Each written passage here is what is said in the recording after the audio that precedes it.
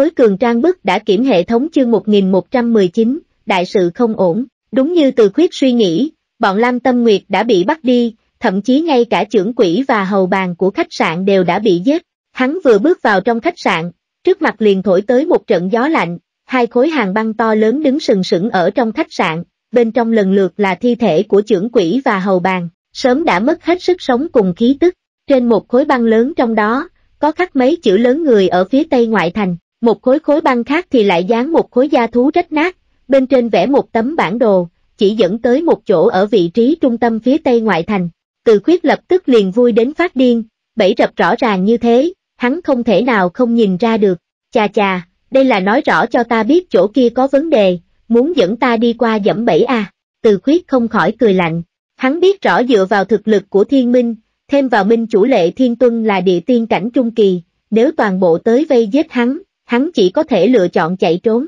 Nhưng thiên minh lại không làm như thế, trái lại còn nhiều lần phái người đến dở trò, đợi tới sau khi thất bại hai lần liên tiếp mới không thể không sử dụng thủ đoạn cứng rắn mang bọn Lam Tâm Nguyệt đi, bây giờ còn lưu lại một tờ bản đồ để cho hắn tới, rõ ràng chính là đang có kế hoạch gì đó, nói chung là không chỉ đơn giản muốn giết hắn như vậy, chuyện này đúng là thú vị, con ngươi của từ khuyết không khỏi hơi hiếp lại, chuyện cứu người, có thể cứu liền cứu, không thể cứu hắn cũng sẽ lười đi, nói cho cùng, hắn cùng mấy người Lam Tâm Nguyệt chỉ mới quen biết được hai ngày mà thôi, theo lý mà nói, căn bản không đáng giá chạy đi mạo hiểm vì đám người kia, vạn nhất thật sự bị tên lệ thiên tuân địa tiên cảnh kia lừa, vậy thì thiệt thòi lớn rồi. Nhưng mà xuất phát từ nội tâm, từ khuyết thật sự không thể trơ mắt nhìn bọn Lam Tâm Nguyệt bị giết, dù sao cũng là do bọn họ đi chung với mình mới bị thiên minh nhìn chầm chầm vào. Hai, thật là chán ngắt, từ khuyết lắc lắc đầu, hắn cảm thấy sau này ở bên ngoài lăn lộn, vẫn phải tìm một ít đồng đội mạnh mẽ mới được.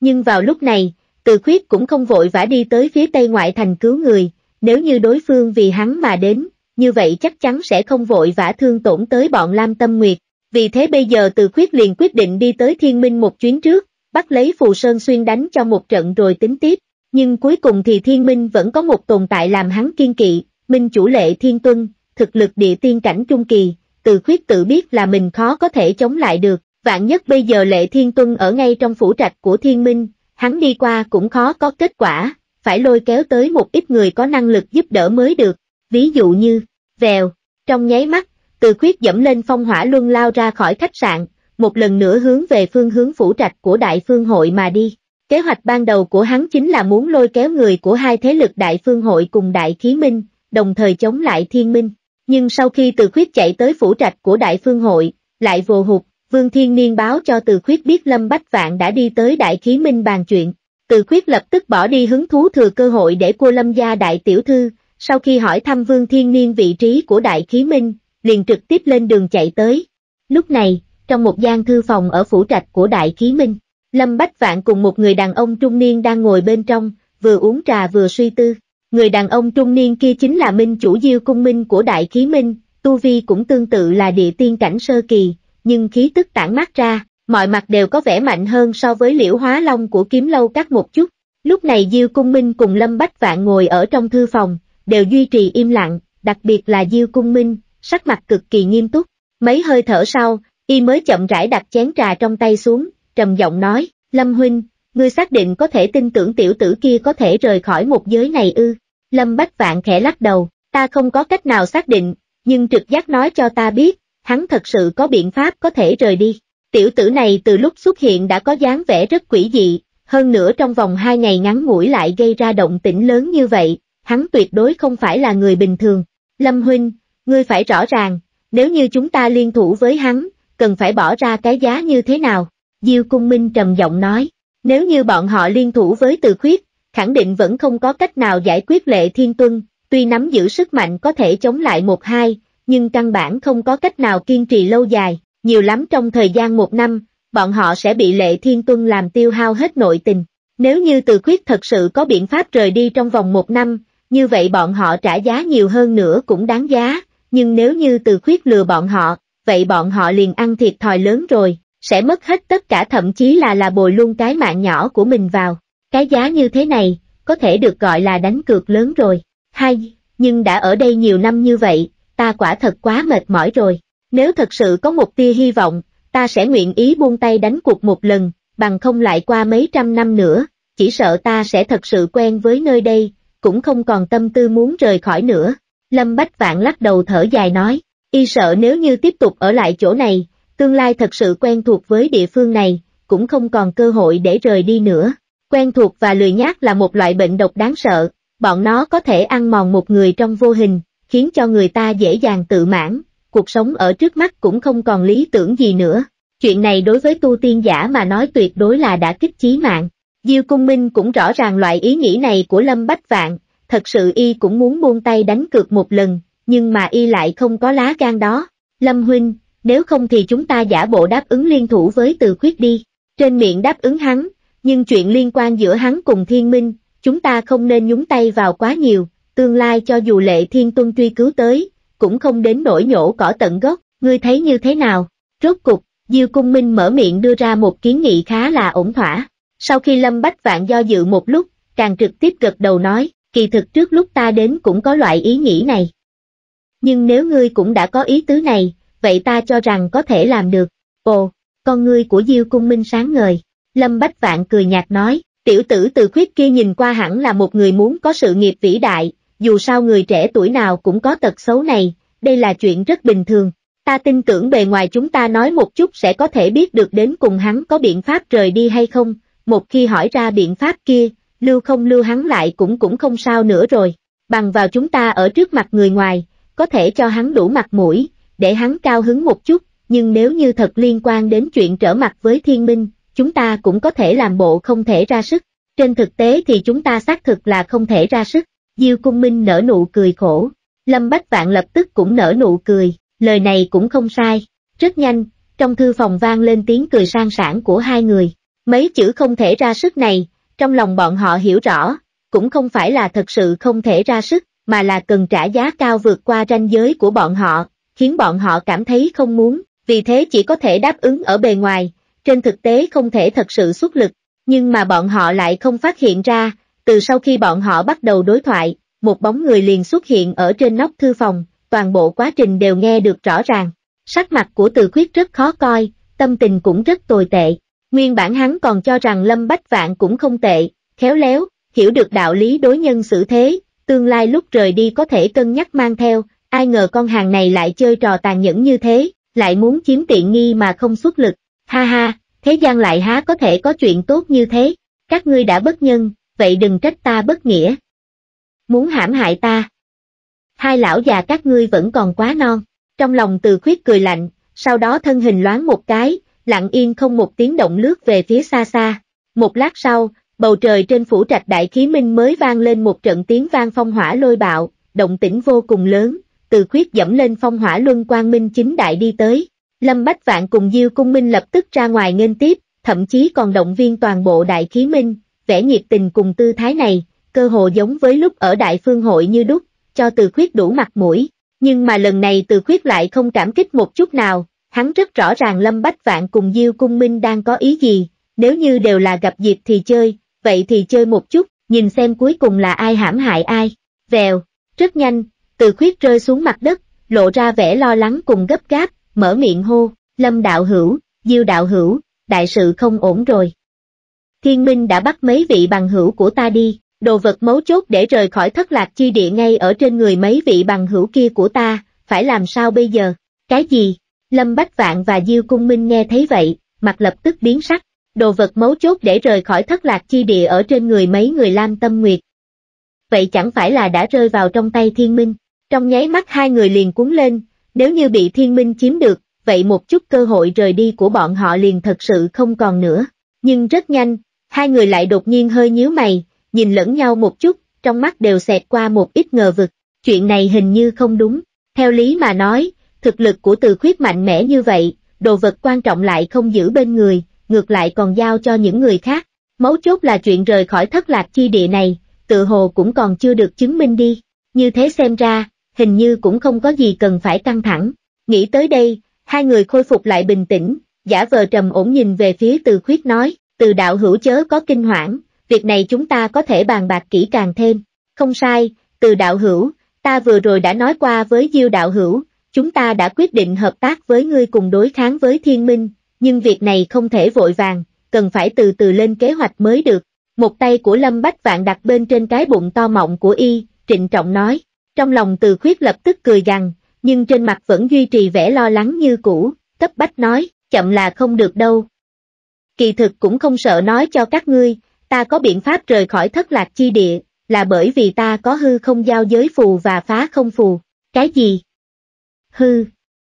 Hư không giao giới phù, phá không phù. Trong nháy mắt sắc mặt của Lâm Bách Vạn cùng Diêu Cung Minh đều kịch biến, khó có thể tin, tim đập không khỏi càng thêm nhanh hơn. Bọn họ rất rõ ràng, hai loại phù lục này đều là thần vật, nếu như nắm giữ hai thứ đồ này, xác thực là có thể rời khỏi nơi quỷ quái này. Nguyên bản ta cảm thấy nếu để cả hai loại phù lục ở trên người ta sẽ không an toàn, cho nên mới tách ra bảo quản, hư không giao giới phù giao cho bằng hữu của ta, mà bản thân ta thì lại bảo quản tấm phá không phù này. Từ khuyết nói xong, đúng là từ dưới khố móc ra một tấm phá không phù. Phù lục vừa xuất hiện, hư không bốn phía lập tức đều rung chuyển, cổ khí tức mạnh mẽ cuồng bạo giống như bất cứ lúc nào cũng có thể xé rách không gian. Lúc này Lâm Bách Vạn và Diêu Cung Minh liền không còn bình tĩnh nữa, bọn họ tỏ vẻ kinh hãi, chấn động không gì sánh nổi, trái tim rầm rầm nhảy lên. Trước một giây bọn họ còn hoài nghi từ khuyết, nhưng bây giờ đã hoàn toàn tin, bởi vì đây là phá không phù chân chính.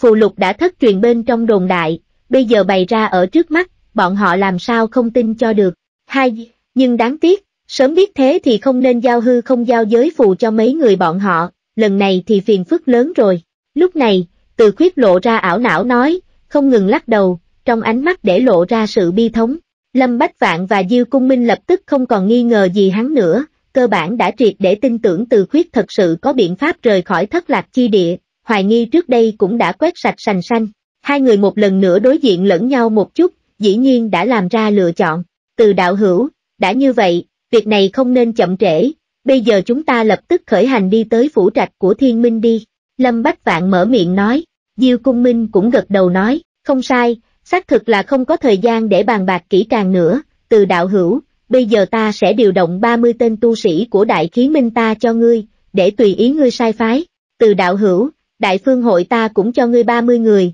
đều là tinh anh bên trong nhân tiên cảnh, Lâm Bách Vạn nói theo, hai người đều là cáo già, dù hầu như đã xác định được từ khuyết thật sự có phương pháp rời khỏi thất lạc chi địa, nhưng cũng không muốn tự mình đi trở mặt với thiên minh. Mỗi người bọn họ phái ra 30 tên cường giả nhân tiên cảnh, đơn giản chính là muốn đuổi từ khuyết đi. Theo bọn họ xem ra, đây là một biện pháp vẹn toàn cả đôi bên, nếu như từ khuyết thật sự có thể đoạt lại phù lục, đến lúc đó bọn họ liền có thể cùng rời đi. Nếu như từ khuyết bất hạnh thất bại, bọn họ cũng có thể nói với Lệ Thiên Tuân rằng 30 tên nhân tiên cảnh này chỉ là tạm thời làm việc, bị từ khuyết suối dục phản bội, không có quan hệ gì tới bọn họ, sau đó bọn họ còn có thể tiếp tục hợp tác với Lệ Thiên Tuân, cùng nhau rời đi. Lần bàn tính này đã được hai người bọn họ vẽ ra vô cùng đẹp đẽ, nhưng mà từ khuyết đã nhìn thấu tâm tư của hai người này từ lâu, lúc này lông mày nhíu lại, lắc đầu nói, hai vị đạo hữu, nếu như phương thức hợp tác của các ngươi là như thế này, vậy ta thẳng thắn đi đầu quân cho thiên minh,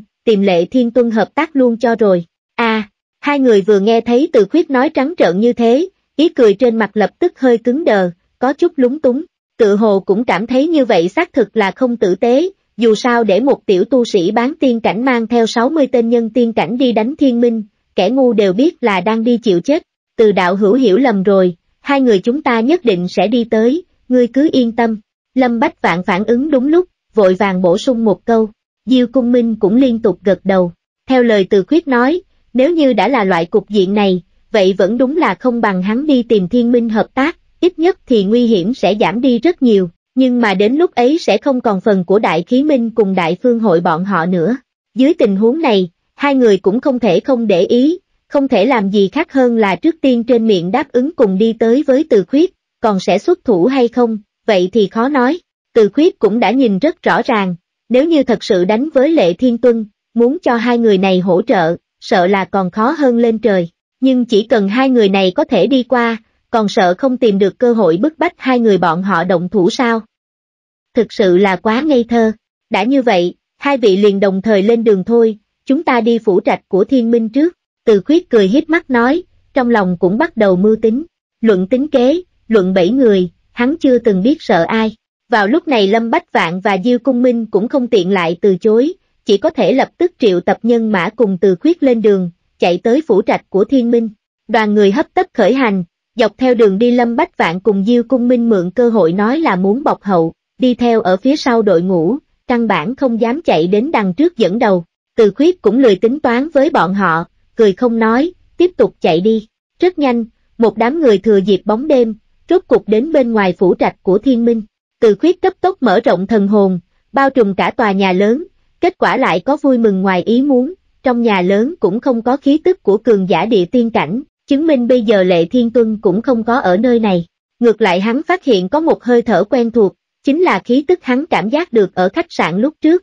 chính là Phù Sơn Xuyên. Khà khà, thì ra lão già này vẫn còn ở đây. Lúc này từ khuyết cười lạnh một tiếng, lập tức gọi ra phong hỏa luân, rút ra đoạn kiếm liền vọt vào. ầm, trong nháy mắt tiếng phong hỏa lôi bạo vang vọng bốn phía, kinh động vô số tu sĩ thiên minh. Mười mấy tên cường giả nhân tiên cảnh của thiên minh đều bay lên trời, lớn tiếng quát lên, làm càng, trọng địa của thiên minh, cấm bất kỳ người nào phi hành. Phi CM ngươi, ngày hôm nay đại khí minh cùng đại phương hội chúng ta muốn liên thủ diệt trừ các ngươi, chư vị huynh đệ, đều lên cho ta. Từ khuyết trống lớn một tiếng, do đoạn kiếm lên ra lệnh cho mọi người phía sau, xông lên. 60 tên tu sĩ nhân tiên cảnh của Đại Khí Minh cùng Đại Phương Hội trong nháy mắt cũng hét lớn một tiếng, đều xông lên phía trước. Chỉ có Lâm Bách Vạn cùng Diêu Cung Minh vẫn còn tiếp tục chậm rãi ung dung ở phía sau bọc hậu. Từ khuyết không thèm để ý hai con cáo già này, tay cầm đoạn kiếm vọt thẳng vào một tòa lầu cát trong đó, hô lớn, Phù Sơn Xuyên, giờ chết của ngươi đến rồi.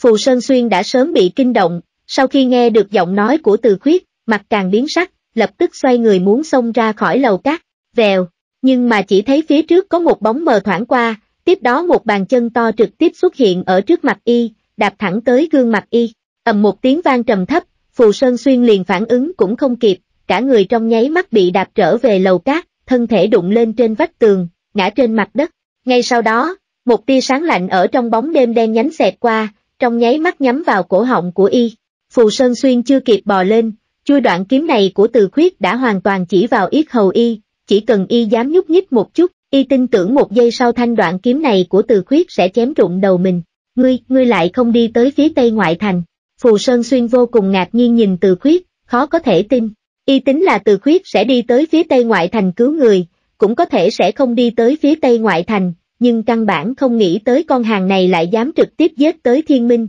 hơn nữa còn thuyết phục được đại phương hội cùng đại khí minh gia nhập, đánh cho thiên minh trở tay không kịp. Hừ, lá gan của ngươi đúng là rất lớn, ta chân trước vừa rời đi, ngươi chân sau liền bắt bằng hữu của ta đi. Từ khuyết cười lạnh nói, con ngươi lạnh lùng nhìn y. Phù Sơn Xuyên lập tức đáp, người không phải do ta bắt đi, là Lâm Hoang làm. Lâm Hoang. Hừ, tốc độ bán đồng đội của ngươi đúng là rất nhanh. Vậy ngươi thuận tiện nói một chút coi, các ngươi ở phía tây ngoại thành bày ra bẫy rập gì, lại hao hết công sức muốn dẫn ta đi qua như thế. Từ khuyết lạnh lùng nói, a nếu ngươi đã đoán được, vậy kế hoạch kia đối với ngươi vô dụng rồi. Không nghĩ tới cuộc đời Phù Sơn Xuyên ta tính toán mọi điều, cuối cùng lại bại ở trong tay ngươi. Trên mặt Phù Sơn Xuyên xẹt qua một ít tự dẻo, lắc đầu cười khổ. Từ khuyết lập tức vui phát điên, ngươi bị bệnh thần kinh à.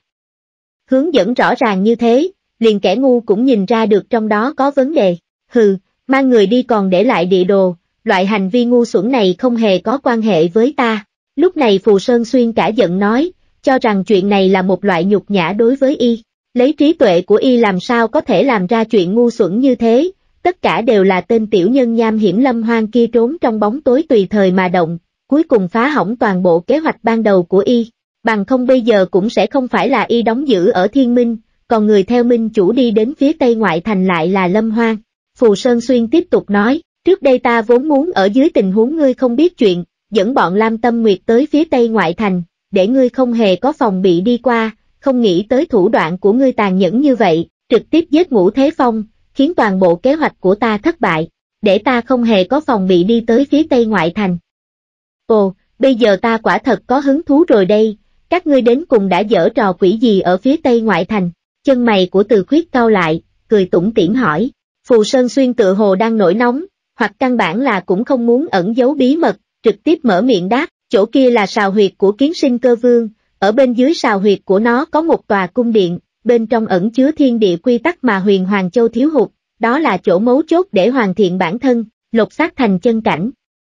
Đương nhiên, quan trọng nhất chính là nơi đó còn có thể giúp chúng ta rời khỏi địa phương này. Huyền Hoàng Châu thiếu hụt thiên địa quy tắc, mấu chốt để trở thành chân cảnh, hơn nữa còn có thể rời khỏi nơi này. Lời nói của Phù Sơn Xuyên vừa phát ra khiến cho Từ Khuyết có chút ngạc nhiên và mơ hồ. Hắn còn chưa từng nghe nói qua huyền Hoàng Châu thiếu hụt thiên địa quy tắc gì đó, càng không biết cái gì là chân cảnh, mấu chốt là náo loạn hơn nửa ngày, đám người thiên minh kia cũng có biện pháp rời khỏi nơi này. đầu phộng, chuyện này còn có thể được sao? Đắc tội với bản bức thánh xong còn muốn đi, đừng hòng, đùng. Lúc này, từ khuyết một cước mạnh mẽ đạp lên trên ngực phù sơn xuyên, lạnh lùng nói, nói mau, huyền Hoàng Châu thiếu hụt thiên địa quy tắc, cùng với cái gọi là chân cảnh kia, đến cùng chuyện như thế nào? Còn có cơ hội rời đi mà ngươi nói kia nữa, ta cho ngươi thời gian ba hô hấp, tốt nhất ngươi nói tỉ mỉ hết ra, bằng không, ha ha, ta có một trăm loại biện pháp khiến cho ngươi sống không bằng chết, nhưng mà đối mặt với uy hiếp như vậy của từ khuyết, Phù Sơn Xuyên không chỉ là không kiên kỵ, trái lại còn giống như tự dễu nở nụ cười, lắc đầu nói, hai. Từ đạo hữu, ngươi không cần nôn nóng như thế, ngươi muốn biết những thứ này, ta sẽ nói toàn bộ cho ngươi biết. Một cước này của từ khuyết tuy rằng tàn nhẫn, nhưng còn không đến mức thương tổn được y, nhiều lắm chỉ là áp đảo trên khí thế mà thôi. Nhưng đối với y bây giờ mà nói, không cần từ khuyết nói lời uy hiếp, y cũng đã sớm không còn dự định tiếp tục giúp lệ thiên tuân giữ bí mật nữa. Từ lúc kế hoạch của y thất bại, lại tới khi Lâm Hoang mang theo bọn Lam Tâm Nguyệt trở về, thái độ của Lệ Thiên Tuân đối với y và Lâm Hoang trước sau biến hóa rõ rệt, cũng đã để tâm của Phù Sơn Xuyên nguội đi rất nhiều. Lệ Thiên Tuân Hoàng Mỹ trình diễn thứ gọi là qua sông đoạn cầu, nguyên bản đã đáp ứng với y sẽ chia sẻ tạo hóa ở phía tây ngoại thành, cuối cùng lại không nhắc tới một lời, thậm chí còn bắt y đóng giữ ở chỗ này, rõ ràng chính là đã đá y ra khỏi kế hoạch ở phía tây ngoại thành. Vì thế giờ phút này Phù Sơn Xuyên e rằng còn hy vọng bọn Lệ Thiên Tuân sẽ thất bại nhiều hơn so với từ khuyết, thậm chí bây giờ y còn muốn nói ra tất cả những chuyện này, dẫn từ khuyết đi tới phía tây ngoại thành phá hoại kế hoạch của Lệ Thiên Tuân và Lâm Hoang. Phù Sơn Xuyên y không chiếm được, người khác cũng đừng hòng. Từ đạo hữu, từ lúc vừa mới bắt đầu, ta cảm thấy lai lịch của ngươi rất khả nghi, có người nói ngươi tự xưng là phi thăng tới đây, nhưng sau khi thấy ngươi bày ra thực lực, chúng ta đều hoài nghi là ngươi đến từ huyền Hoàng Châu, đồng thời rất có khả năng là một trong những thiên kiêu trẻ tuổi có thân phận thần bí trên thiên đỉnh bản. Lúc này, Phù Sơn Xuyên chậm rãi mở miệng nói, từ khuyết hơi kinh ngạc, hắn cũng không nghĩ tới Phù Sơn Xuyên lại bắt đầu từ thân phận của hắn, không khỏi cau mày nói, chuyện này có liên quan gì với chuyện phía Tây ngoại thành, đương nhiên là có liên quan. Phù Sơn Xuyên gật đầu nói, trước đây ta vẫn tin tưởng thân phận thiên kiêu thiên đỉnh bản của ngươi không hề có nghi ngờ gì, nhưng bây giờ ta mới phát hiện là ta đã sai rồi, nếu như ngươi là thiên kiêu của thiên đỉnh bản, ngươi sẽ không thể không biết chuyện huyền Hoàng Châu thiếu hụt thiên địa quy tắc, càng không thể nào không biết chuyện chân cảnh. Nói đến đây, mắt Phù Sơn Xuyên nhìn từ khuyết, lắc đầu nở nụ cười, từ đạo hữu, nếu như thật sự là ngươi phi thăng tới đây, vậy chỉ có thể nói là ngươi là phúc họa đều có, bởi vì thiên địa quy tắc mà huyền Hoàng Châu thiếu hụt, chính là quy tắc sinh tử. Ồ, lúc này từ khuyết cả kinh, lời này của Phù Sơn Xuyên hắn đúng là nghe hiểu, trong thiên địa vạn vật đều có quy tắc định luật, như ngũ hành tương sinh tương khắc, thất tình lục dục, sinh tử luân hồi các loại, từ vô số loại quy tắc mới có thể xây dựng ra một thế giới hoàn chỉnh, thiếu một thứ cũng không được. Linh khí sở dĩ là linh khí, chính là bởi vì bên trong linh khí có bao hàm các loại thiên địa quy tắc, tất cả đều cùng một nhịp thở với việc tu sĩ tu luyện cùng ngộ đạo. Lúc tu sĩ tu luyện dẫn linh khí vào trong cơ thể, giống như là dung hòa các loại thiên địa quy tắc vào trong cơ thể, tích ít thành nhiều, cảnh giới càng cao, linh khí hút vào càng nhiều, bản thân ẩn chứa thiên địa quy tắc cũng càng bàn bạc. Vì thế lúc tu sĩ tiến hành ngộ đạo, mới có thể đi cảm ngộ các loại quy tắc,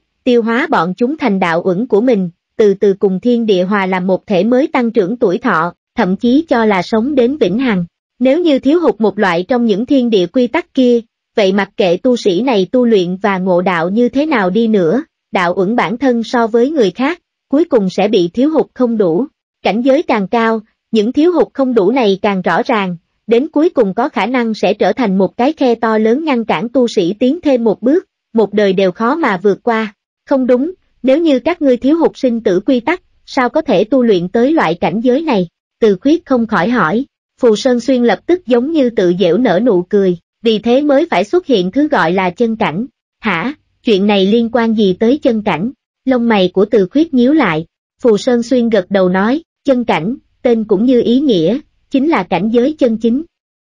Huyền Hoàng Châu tuy rằng tương tự như Địa Châu và Thiên Châu, cảnh giới đều chia làm bán tiên cảnh, nhân tiên cảnh, địa tiên cảnh các loại, nhưng trên thực tế, huyền Hoàng Châu chúng ta vĩnh viễn có chênh lệch một đoạn dài so với Địa Châu và Thiên Châu, bởi vì các ngươi thiếu hụt một loại thiên địa quy tắc, không sai, cũng chính là bởi vì điểm này, bằng vào thứ gọi là bán tiên cảnh, nhân tiên cảnh cùng với địa tiên cảnh ở huyền Hoàng Châu chúng ta, ở trong mắt hai châu kia vốn là trò cười, bọn họ gọi chúng ta là ngụy bán tiên, ngụy nhân tiên, ngụy địa tiên. Phù Sơn Xuyên nói, từ khuyết nghe xong lập tức bị dọa cho sợ hết hồn, con mẹ nó, hóa ra đám người kia còn không phải là bán tiên cảnh cùng nhân tiên cảnh, thậm chí địa tiên cảnh chân chính. Từ đạo hữu, chớ trách ta nói hơi khó nghe, tuy rằng ngươi lấy sức một người tiêu diệt liễu hóa long, nhưng cuối cùng y chỉ là một tu sĩ ngụy địa tiên cảnh sơ kỳ, nếu như ngươi đụng tới địa tiên cảnh chân chính, đừng nói tiêu diệt đối phương, ngươi có thể chạy thoát cũng đã rất tốt rồi. Phù Sơn Xuyên từ tốn nói, từ khuyết không phản đối, không phải hắn cảm thấy xem thường đối với cường giả địa tiên cảnh chân chính, mà là hắn cũng đã nghĩ đến điểm này. Vì giết một ngụy địa tiên cảnh sơ kỳ như liễu hóa long đều suýt chút nữa ném cái mạng nhỏ của mình vào, hắn cũng không cho rằng lúc mình gặp phải địa tiên cảnh sơ kỳ chân chính cũng sẽ có kết cục tương tự, nói không chừng đúng như Phù Sơn Xuyên nói, mình có thể chạy được liền rất tốt rồi. Nói như vậy, thứ các ngươi gọi là kế hoạch phía Tây ngoại thành, chính là đang mưu đồ một loại đồ vật nào đó có thể giúp các ngươi bù đắp sinh tử quy tắc, trợ giúp các ngươi đạt đến chân cảnh, trở thành nhân tiên cảnh và địa tiên cảnh chân chính sao. Lúc này, từ khuyết giống như đã nghĩ thông suốt tất cả, nhìn Phù Sơn Xuyên hỏi, Phù Sơn Xuyên gật đầu, đáp, nói cho đúng khi đó không phải là đồ vật, mà là mảnh vỡ quy tắc. Ở mảnh thất lạc chi địa này, tuy rằng xung quanh đều tồn tại lượng lớn sinh tử quy tắc, nhưng chúng ta căn bản khó có thể tu luyện chúng vào trong cơ thể, không thể thành tựu chân cảnh, nhưng dưới sào huyệt của kiến sinh cơ vương lại có một loại mảnh vỡ quy tắc, chỉ cần một khối nhỏ liền có thể trong nháy mắt bù đắp sinh tử quy tắc mà chúng ta thiếu khuyết, từ đó bước vào chân cảnh, hoàn thành lột xác, thì ra là như vậy. Thế nhưng chuyện này lại có liên quan gì tới việc các ngươi có thể rời khỏi nơi đây? Từ khuyết tiếp tục hỏi, từ đạo hữu chớ nên hiểu lầm, ta mới vừa nói cũng không phải là có thể rời khỏi nơi đây, mà nói là nắm giữ thời cơ rời khỏi nơi đây. Phù Sơn Xuyên nói, kỳ thực gần một ngàn năm trước chúng ta đã từng đi qua chỗ kia một lần, ngoài chuyện bất ngờ phát hiện ra mảnh vỡ quy tắc, cũng nhìn thấy một tòa trận đài, bên trên có một tấm phù lục, sau khi nghiên cứu phân tích thì chúng ta phát hiện thứ đó có thể giúp liên lạc với người đã khiến nơi đây trở nên như vậy, truyền âm cho nàng. Từ khuyết vừa nghe thấy thế, lông mày lập tức nhíu lại, tỏ vẻ quái lạ hỏi, thứ các ngươi gọi là thời cơ, không phải là truyền âm cho người kia, để cho nàng đến dẫn các ngươi đi ra ngoài chứ. Đúng là như thế, tuy rằng không xác định được là vị này còn sống ở trên thế gian hay không, còn có thể thu được truyền âm hay không, nhưng chí ít đây là một tia hy vọng duy nhất. Phù Sơn Xuyên lập tức gật đầu đáp, từ khuyết liền vui phát điên rồi, hóa ra náo loạn hơn nửa ngày, đám người kia lại đang hy vọng hiên viên Uyển Dung đến cứu bọn họ. Ha ha, chuyện này đúng là nghĩ quá nhiều rồi. Tuy rằng hắn còn không xác định người mà Phù Sơn Xuyên nói kia có phải là hiên viên Uyển Dung hay không, nhưng căn cứ vào các loại dấu hiệu cho thấy, ít nhất có hơn 10% chính là nàng. Thế nhưng lấy loại tính khí kia của hiên viên Uyển Dung, sẽ để ý tới đám người Phù Sơn Xuyên kia sao? Tuyệt đối là không thể, càng sẽ không quản ngàn dặm xa xôi chạy tới cứu bọn họ. Đương nhiên, mấu chốt nhất chính là hiện nay bản thân hiên viên Uyển Dung còn khó bảo toàn, bị vây ở bên dưới tán tiên cốc, còn cứu người cái rắm gì. Ha ha ha, nghĩ tới đây, từ khuyết không khỏi tỏ vẻ cười trên sự đau khổ của người khác. Phù Sơn Xuyên lập tức sững sờ, từ đạo hữu, đây là ngươi đang cười cái gì? Không có gì, chẳng qua là cảm thấy các ngươi có lý tưởng là việc tốt. Từ khuyết cười dài nói, đồng thời giơ đoạn kiếm trong tay lên, làm dáng muốn chém xuống đầu của Phù Sơn Xuyên. Trong nháy mắt Phù Sơn Xuyên sợ hết hồn, kinh hô, từ đạo hữu, ngươi làm cái gì vậy, chờ chút, dừng tay, ta còn có lời muốn nói, ngươi không thể giết ta, ồ. Còn có di ngôn gì muốn nói, lúc này từ khuyết đúng là ngừng lại, mở miệng hỏi, ngươi còn chưa hỏi ta, tại sao chúng ta lại muốn dụ dỗ ngươi đi tới phía tây ngoại thành, Phù Sơn Xuyên nói ra, từ khuyết lập tức trừng to mắt, đúng rồi, suýt chút nữa đã quên chuyện này, lúc này, con ngươi hắn hơi hiếp lại, nở nụ cười, không tồi không tồi, Phù Sơn Xuyên, chúc mừng ngươi đã thành công kéo dài tính mạng của mình, ta lại có thể ngừng một chút, đến, nói một chút coi, đến cùng là tại sao cần phải nhiễu loạn một vòng lớn như vậy để dẫn ta đi tới phía tây ngoại thành. bởi vì thực lực của ngươi đủ mạnh, còn có chiêu lục sắc hỏa liên có lực phá hoại kinh người kia của ngươi. Phù Sơn Xuyên lập tức đáp, tiếp đó y liền nói ra tất cả kế hoạch và ngọn nguồn sự việc. Trên thực tế, từ gần ngàn năm trước bọn họ đã vô ý xông vào động thiên phía dưới sào huyệt của kiến sinh cơ vương, nhưng sau đó cũng không còn cơ hội để đi vào nữa. Lúc trước tuy rằng bọn họ nhìn thấy mảnh vỡ của sinh tử quy tắc, cũng nhìn thấy tòa trận đài kia, nhưng căn bản không kịp mang đi thứ gì liền đã kinh động tới kiến sinh cơ của cả tòa sào huyệt. Sào huyệt của kiến sinh cơ thông suốt bốn phương, lúc kiến sinh cơ trào ra giống như cuồng triều khủng bố, bọn họ muốn vọt vào cướp đi mảnh vỡ quy tắc đều không có cách nào, thậm chí ở dưới uy thế của kiến sinh cơ vương cùng vô số kiến hậu, chỉ có thể bất đắc dĩ lựa chọn rút đi. Trong một ngàn năm thời gian sau này, cho đến tận bây giờ, bọn họ cũng không có bất kỳ cơ hội nào đến gần địa phương kia. Dù sao sau khi trải qua chuyện nhân tộc xông vào năm đó, sào huyệt của kiến sinh cơ vương đã được thủ vệ nghiêm ngặt từ lâu, xa xa không phải năm đó có thể sánh bằng, một khi có nhân tộc tới gần, nhất định sẽ kinh động tới tất cả kiến sinh cơ và kiến hậu bốn phía, chỉ cần mấy hơi thở, tất cả kiến sinh cơ ở xung quanh sào huyệt kiến sinh cơ vương đều sẽ lập tức chạy tới, lấy ưu thế về số lượng nghiền ép tất cả. Vì thế cho dù lệ thiên tuân có mạnh đến đâu đi nữa, cũng không dám đi đối kháng với kiến sinh cơ vương có cảnh giới tương đương, chưa kể còn có vô số kiến sinh cơ khác vây quanh, bởi vì mặc kệ kết quả là như thế nào,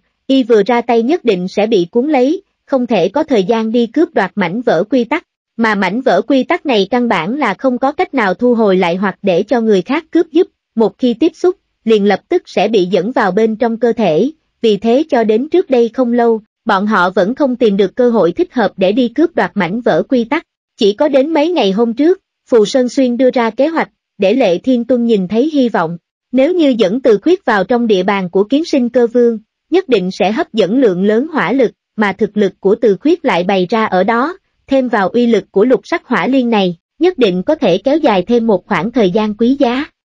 Ở trong khoảng thời gian đó, bọn lệ thiên tuân có thể nhân cơ hội lẻn vào động thiên bảo địa phía dưới sào huyệt, cướp đoạt mảnh vỡ sinh tử quy tắc, thậm chí còn có thể khởi động trận đài, phát đi truyền âm cầu cứu. Phù Sơn Xuyên Thân là công thần thứ nhất, nguyên bản là người có tư cách cùng lệ thiên tuân đi tới nơi này, nhưng đáng tiếc y sắp xếp ngũ thế phong đi dụ dỗ Lam Tâm Nguyệt, kết quả ngũ thế phong liền Lam Tâm Nguyệt đều chưa thấy, đã bị từ khuyết trực tiếp chém chết. Tiếp theo y lại sắp xếp cho người của ám sát tinh đi, muốn lén lút mang bọn Lam Tâm Nguyệt đi, kết quả lại bị từ khuyết phá hoại. Liên tiếp hai lần thất bại khiến Phù Sơn Xuyên bị đã kích lớn, trọng điểm là sau khi Phù Sơn Xuyên rời đi, Lâm Hoang lại đục nước béo cò chiếm trước tiên cơ, thừa dịp từ khuyết rời đi, trực tiếp mạnh mẽ mang bọn Lam Tâm Nguyệt đi, còn để lại tờ giấy cho từ khuyết, khiến bố cục của Phù Sơn Xuyên thành một hồi bắt cóc. Tuy rằng cấp bậc lập tức giảm xuống, nhưng Lâm Hoang vẫn trở thành người cười đến cuối cùng, thủ tiêu công lao của Phù Sơn Xuyên, trở thành người duy nhất có thể cùng Lệ Thiên Tuân đi cướp đoạt sinh tử quy tắc,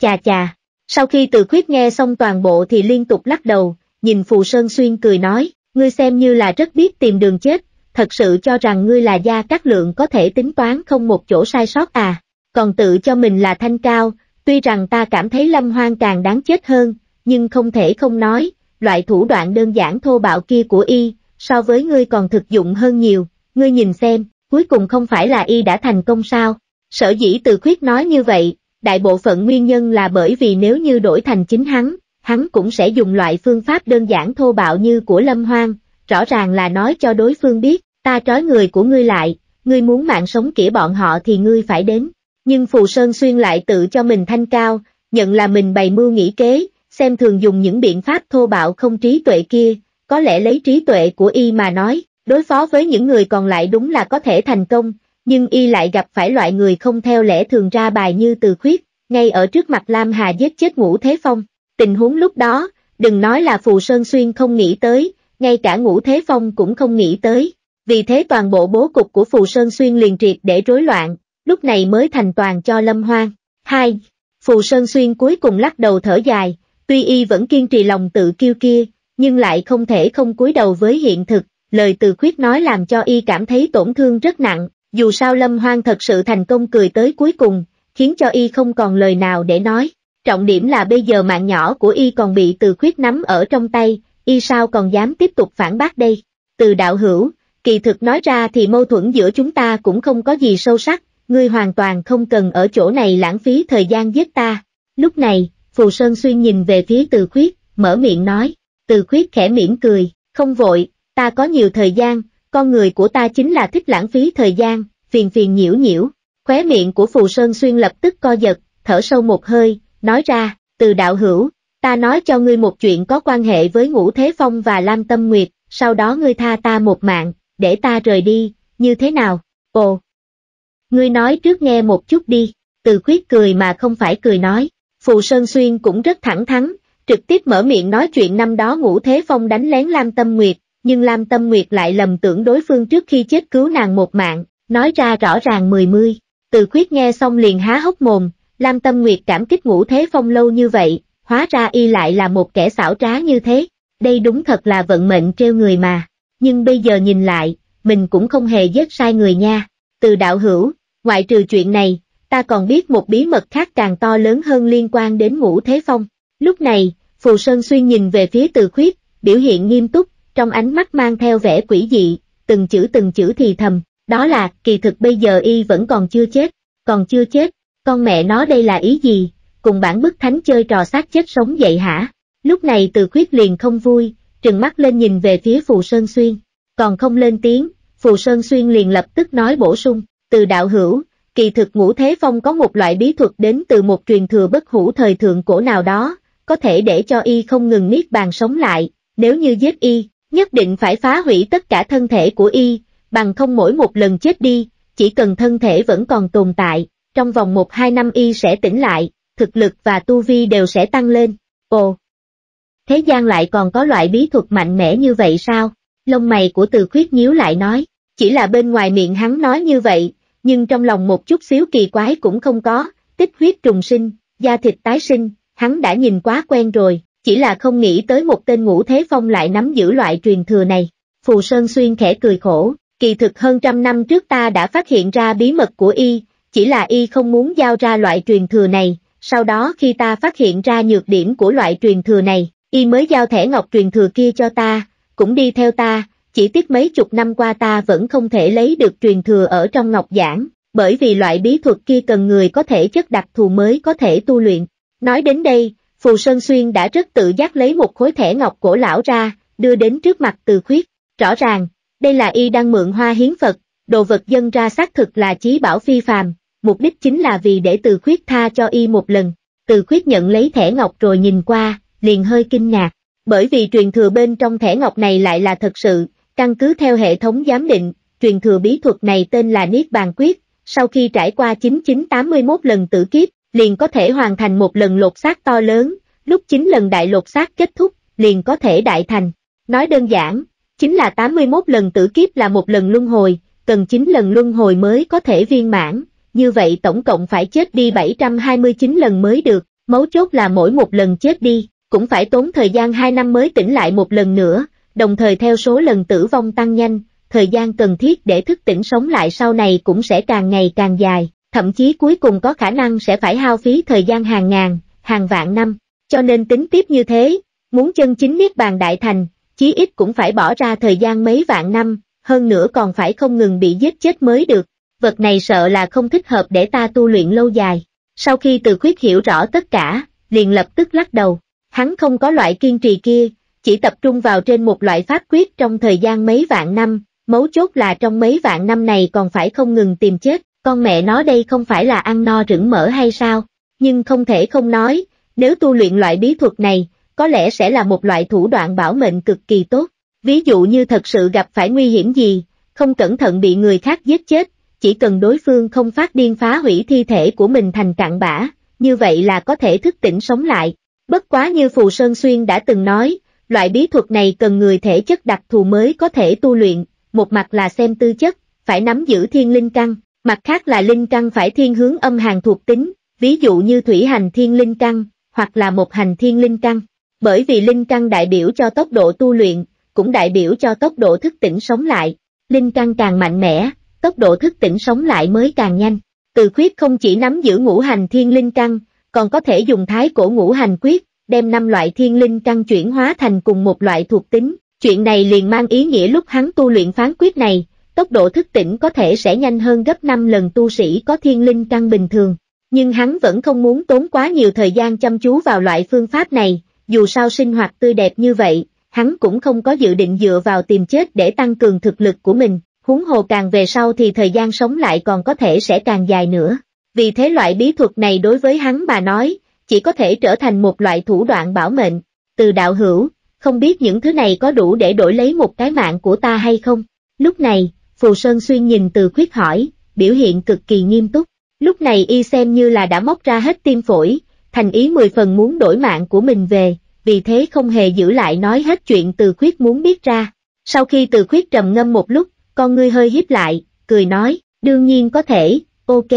Lập tức, hắn thu hồi đoạn kiếm, trực tiếp thả Phù Sơn Xuyên đi. Nói cho cùng, giữa hắn và Phù Sơn Xuyên cũng có không thâm cừu đại hận gì, thêm vào rất nhanh hắn sẽ có thể rời đi, không cần thiết phải giết chết Phù Sơn Xuyên. Đương nhiên, nguyên nhân lớn nhất vẫn là do hắn giết người đã không có kinh nghiệm nữa, bằng không dựa theo tác phong ngày xưa của con hàng này, khẳng định là sẽ tiếp tục xuống tay độc ác, tuyệt đối sẽ không lượng như vậy được. Cuối cùng, từ khuyết lộ ra vẻ đắc ý mang theo người của đại phương hội cùng đại khí minh rời đi, lúc này Phù Sơn Xuyên mới thở vào nhẹ nhõm, triệt để yên lòng. Chỉ là lúc nhìn thấy hình ảnh khắp nơi bừa bộn cùng máu chảy thành sông bên trong phủ trạch của thiên minh, Phù Sơn Xuyên lại khẽ thở dài một cái, bởi vì lệ thiên tuân mang đi phần lớn thành viên nòng cốt, vì thế mấy chục tên tu sĩ nhân tiên cảnh đóng giữ bên trong phủ trạch thiên minh bị đại khí minh và đại phương hội giết đi không ít, hai bên đều có thương vong không nhỏ, thôi. Phù Sơn Xuyên lắc đầu cảm thán một tiếng, tỏ vẻ thất vọng đứng lên, cuối cùng cũng rời đi.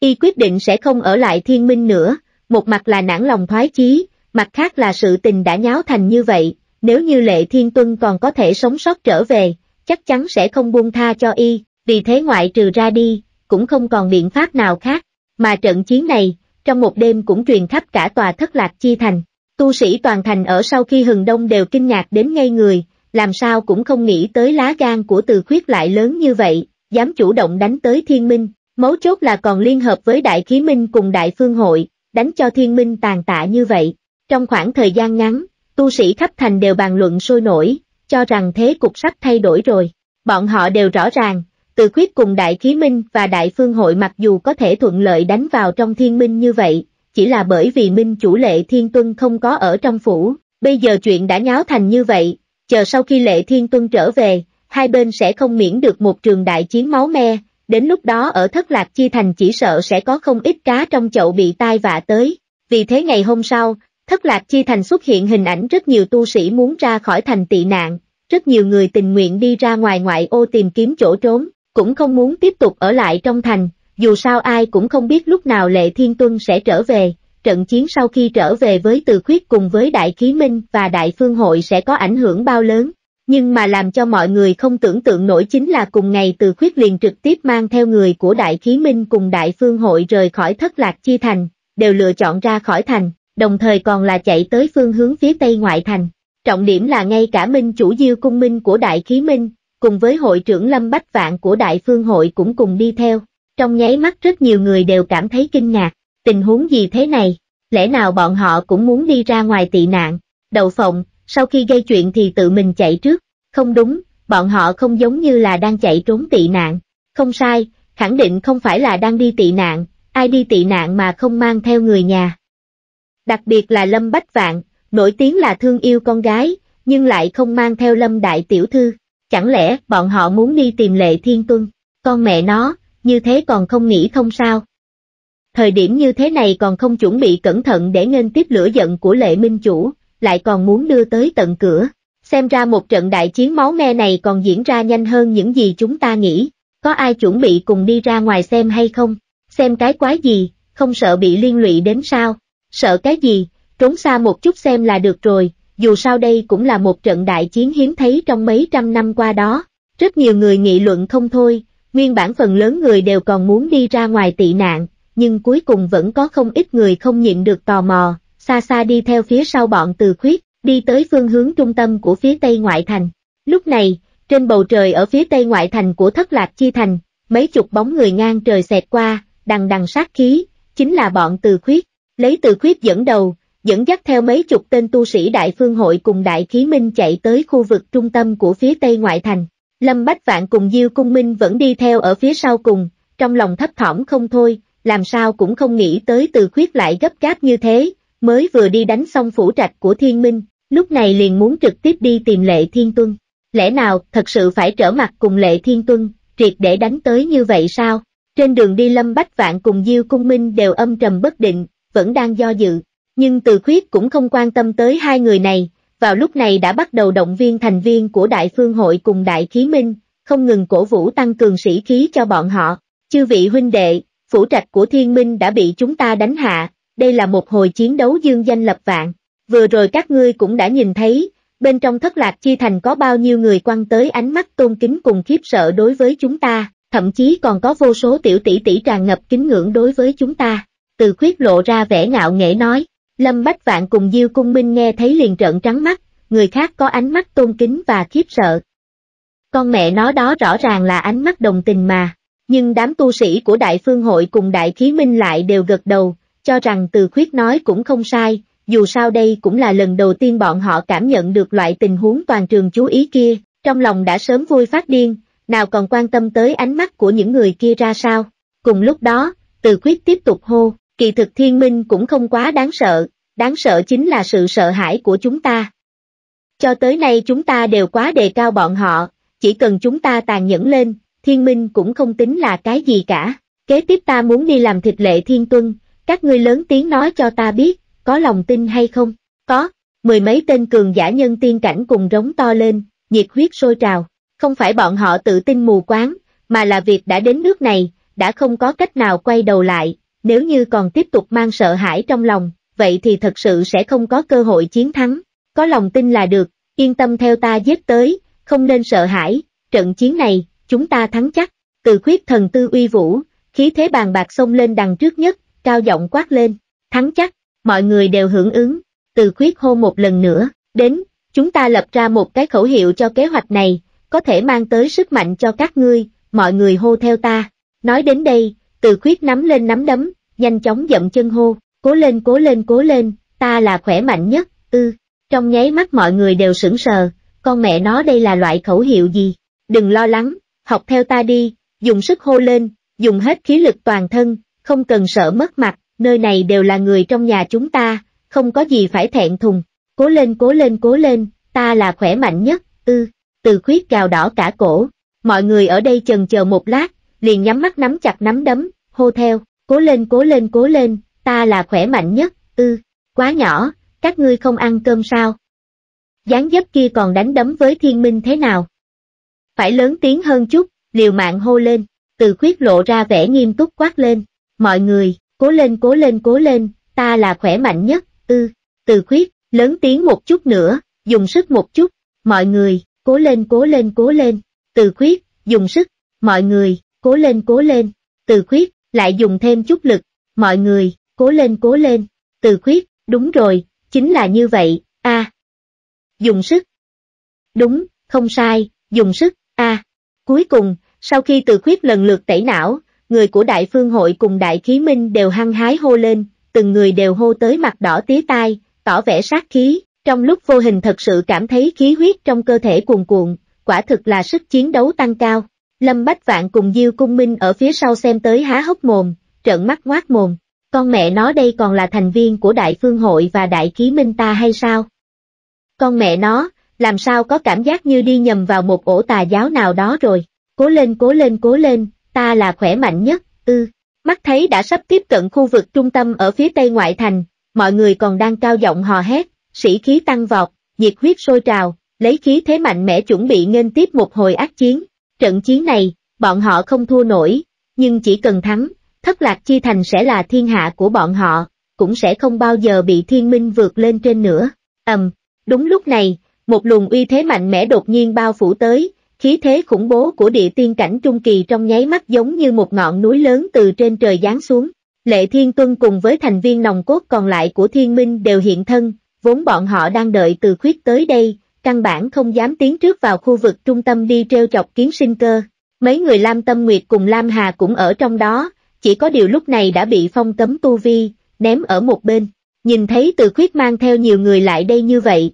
Lam Hà lập tức kích động, lớn tiếng kêu lên, tỷ phu ạch, không đúng, khuyết ca, nhanh cứu chúng ta. Y theo bản năng muốn gọi tỷ phu, nhưng vừa nghĩ tới trước đây Lam Tâm Nguyệt từng nói với y, không khỏi lập tức đổi giọng. Dù sao trong lòng y rất rõ ràng, với loại thái độ đó của tỷ tỷ mình, từ khuyết khẳng định không có cách nào trở thành tỷ phu của mình rồi. Câm miệng, lúc này, Lâm Hoang lại trống lớn một tiếng, quát bảo Lam Hà ngưng lại, chợt từ bên trong tất bước đi ra, ánh mắt lạnh lẽo quét về phía từ khuyết, lạnh lùng nói, hừ, từ khuyết, ta bảo một mình ngươi tới đây, ngươi lại mang theo nhiều người như vậy làm gì, giết chết các ngươi, từ khuyết cười hiếp mắt nói, nhẹ như mây gió, không hoảng sợ chút nào, đây là ngươi đang tìm chết, lúc này lâm hoang tức giận quát, hừ, lệ thiên tuân cũng hừ lạnh lên một tiếng, tỏ vẻ âm trầm đi ra, không nhìn thẳng vào từ khuyết, con ngươi quét về phía lâm bách vạn cùng diêu cung minh ở phía sau đoàn người, trầm giọng nói, lâm bách vạn, diêu cung minh,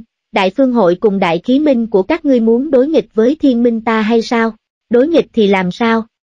Đại phương hội cùng đại khí minh chúng ta là đệ nhất thiên hạ, xưa nay không hề sợ hãi, thiên minh của ngươi là cái rắm gì? Từ khuyết lập tức há mồm hô, Lâm Bách Vạn cùng Diêu Cung Minh vừa nghe thấy thế, trong nháy mắt mặt đều đen lại, lúc này xem như đã triệt để bị kéo xuống nước rồi. Được, rất tốt. Lệ Thiên Tuân tức giận đến nỗi cười to lên, con ngươi xẹt qua vẻ tàn nhẫn, lúc này giơ cánh tay lên, cách không quay về phía bọn từ khuyết bỗng nhiên nhấn một cái, ầm ầm, trong nháy mắt, một luồng sóng khí khổng lồ đột nhiên phô thiên cái địa đè ép xuống, hư không vặn vẹo, gây ra từng trận tiếng vang giống như sấm rền. Ngay sau đó, vài tên tu sĩ nhân tiên cảnh của Đại Phương Hội cùng Đại Khí Minh đứng ở vị trí khá cao, còn chưa kịp phản ứng lại, ngay tại chỗ bị một luồng sức mạnh vô hình bắt lấy, mạnh mẽ đánh xuống mặt đất, ầm,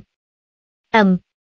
ầm, mấy người còn chưa rơi xuống đất đã trực tiếp nổ tung ở giữa không trung, hóa thành vài luồng sương máu, trong nháy mắt bị giết chết, hít, tất cả mọi người ở đây lập tức hít vào một hơi khí lạnh, con ngươi nhanh chóng co lại, lệ thiên tuân này lại mạnh mẽ đến như vậy, thế này thì còn đánh như thế nào nữa, tất cả mọi người đều không khỏi nhìn về phía từ khuyết, rõ ràng, bây giờ từ khuyết mới là tâm phúc của bọn họ, từ khuyết đang nghe truyện trên TV audio CV quyết định thật nhanh, cổ họng chấn động, bước ra một bước, hăng hái, tráng khí ngập trời, lớn tiếng quát, chư vị, đừng hoảng, chúng ta còn có thể thắng. Nói xong, hắn gọi ra phong hỏa luân, quay đầu liền chạy. Lúc này, toàn trường hoàn toàn tĩnh mịch, tất cả mọi người đều há hốc mồm, bất kể là Lam Tâm Nguyệt cùng bọn Lam Hà, hay là lệ thiên tuân lâm hoang của thiên minh, tất cả đều trợn mắt ngoác mồm, lộ ra vẻ kinh ngạc. Nhưng ở đây muốn nói tới ngơ ngác nhất, không thể nghi ngờ chính là đám đại phương hội cùng đại khí minh bị từ khuyết lừa tới, người của hai phe thế lực đều tỏ vẻ dại ra, đầu trống rỗng, thậm chí là Lâm Bách Vạn cùng Diêu Cung Minh cũng sững sờ hơn nửa ngày chưa phản ứng lại được. Trước một giây từ khuyết còn tỏ ra tự tin, uy vũ sinh uy, bây giờ liền quay đầu chạy như thế. Trọng điểm là con hàng này còn nói cái gì mà đừng hoảng, còn có thể thắng. CM ngươi. Ở trên đường đến ngươi không hề nói như vậy, đã nói là đừng sợ hãi, gặp mặt liền đánh mà, đã nói ta mạnh mẽ nhất mà, con mẹ nó toàn bộ là lừa người à, tên lừa đảo, đây là một tên lừa đảo, a a a, loại cáo già như Lâm Bách Vạn cùng Diêu Cung Minh, giờ phút này làm sao còn không biết chuyện gì đang xảy ra, bọn họ kịp thời phản ứng lại, bị lừa rồi, hoàn toàn bị lừa rồi, từ khuyết mang theo bọn họ giết tới, kéo tới cừu hận, kết quả là tự mình chạy trước, đây là đang đẩy bọn họ vào trong hố lửa. Lệ Minh Chủ, ngươi nghe chúng ta giải thích đã, đây là hiểu lầm. Đúng đúng đúng, không sai, chúng ta căn bản không biết có chuyện gì xảy ra, là từ khuyết nói nơi đây có bảo vật, mang chúng ta tới. Lúc này, Lâm Bách Vạn cùng Diêu Cung Minh lập tức mở miệng giải thích với Lệ Thiên Tuân. Nhưng lúc này Lệ Thiên Tuân không có thời gian để ý tới bọn họ, sắc mặt có chút âm trầm, thần thức mạnh mẽ đã buông ra từ lâu, nhìn quét bốn phía, truy tìm tung tích từ khuyết. Sở dĩ y muốn lừa gạt từ khuyết đến đây, chính là vì vừa ý thực lực của từ khuyết, có thể vì bọn họ dụ kiến sinh cơ đi, tranh thủ thời gian cho bọn họ. Nhưng y chẳng thể nghĩ tới, con hàng này chỉ lừa gạt người của Đại Khí Minh cùng Đại Phương Hội đến, sau đó liền chạy, đơn giản khiến người ta không hiểu ra sao. Minh chủ, nếu không đâm lao phải theo lao, để những người này bán mạng cho chúng ta đi. Lâm Hoang tiến gần về phía Lệ Thiên Tuân, thấp giọng hỏi dò. Y cảm thấy cùng với việc tiếp tục lãng phí thời gian trên người từ khuyết, còn không bằng để cho đám người của Đại Khí Minh cùng Đại Phương Hội đến chết thay, tranh thủ thời gian giúp bọn họ. Hừ, ngu xuẩn. Liền đám rác rưởi bọn chúng có thể giúp chúng ta kéo dài thêm được bao nhiêu thời gian. Nếu như có thể dùng bọn họ, bản minh chủ còn cần phải nhọc nhằn khổ sở chờ đợi nhiều năm như vậy sao? Lúc này Lệ Thiên Tuân tức giận, trừng mắt nhìn về phía Lâm Hoang. Sắc mặt của Lâm Hoang lập tức trắng bệch, vội vàng cúi đầu nói, Minh chủ anh Minh, là thuộc hạ bị hồ đồ rồi, xin Minh chủ thứ tội. Rác rưởi, Lệ Thiên Tuân hừ lạnh một tiếng, ánh mắt lại một lần nữa chăm chú nhìn bốn phía, trầm giọng nói, nếu như tiểu tử kia dám chạy, vậy chúng ta giết mấy người trước cho hắn nhìn, ta không tin hắn sẽ không ra. Nói xong, Lệ Thiên Tuân vung tay lên, thành viên của Thiên Minh lập tức hiểu ý, cấp tốc mang bọn Lam Tâm Nguyệt cùng Lam Hà tiến lên. Xèo, Lâm Hoang tay mắt lanh lẹ, trong nháy mắt lấy ra một thanh phi kiếm, gác ở trên cổ Lam Hà, lớn tiếng quát, từ khuyết, chúng ta chỉ cho ngươi thời gian ba lần hô hấp, bên trong ba hơi thở nếu như không hiện thân, bọn họ đều phải chết, ầm, ngay sau đó, một tiếng nổ vang rền giống như phong hỏa lôi bạo vang lên, bóng từ khuyết đột nhiên xuất hiện ở trên không trung, một thanh đoạn kiếm trực tiếp bổ về phía đầu Lâm Hoang, a Lâm Hoang sợ đến mức kêu lên tại chỗ, nhưng thân thể không kịp làm ra một chút xíu phản ứng gì, mắt thấy đoạn kiếm liền ở ngay trước mặt, thậm chí y còn có thể cảm giác được loại túc sát cùng hàng khí ở trên lưỡi kiếm truyền đến, nội tâm đã tuyệt vọng, cong, đột nhiên, cùng với một tiếng kim loại rung lanh lảnh, đoạn kiếm trong tay từ khuyết đã bị một vệt sáng bắn trúng, trên lưỡi kiếm bắn tóe ra đốm lửa liên tiếp, gãy vỡ tại chỗ, con mẹ nó, trong nháy mắt từ khuyết kêu thành tiếng, khó có thể tin, trợn mắt lên, kinh hãi nhìn đoạn kiếm trong tay, nguyên bản lưỡi kiếm cũng đã từng bị đứt đoạn một phần ba, vào lúc này lại trực tiếp bị gãy chỉ còn lại một đoạn nhỏ, chui kiếm còn dài hơn so lưỡi kiếm, con mẹ nó đây vẫn còn là đoạn kiếm sao, nó thậm chí còn ngăn hơn cả chủy thủ rồi, hừ, tiểu tử vô tri, chỉ là bán phẩm tiên khí cũng dám giả thần giả quỷ ở trước mặt ta. Lúc này, Lệ Thiên Tuân lạnh giọng hừ một tiếng, nói thẳng ra cấp bậc chân thực của thanh đoạn kiếm của từ khuyết.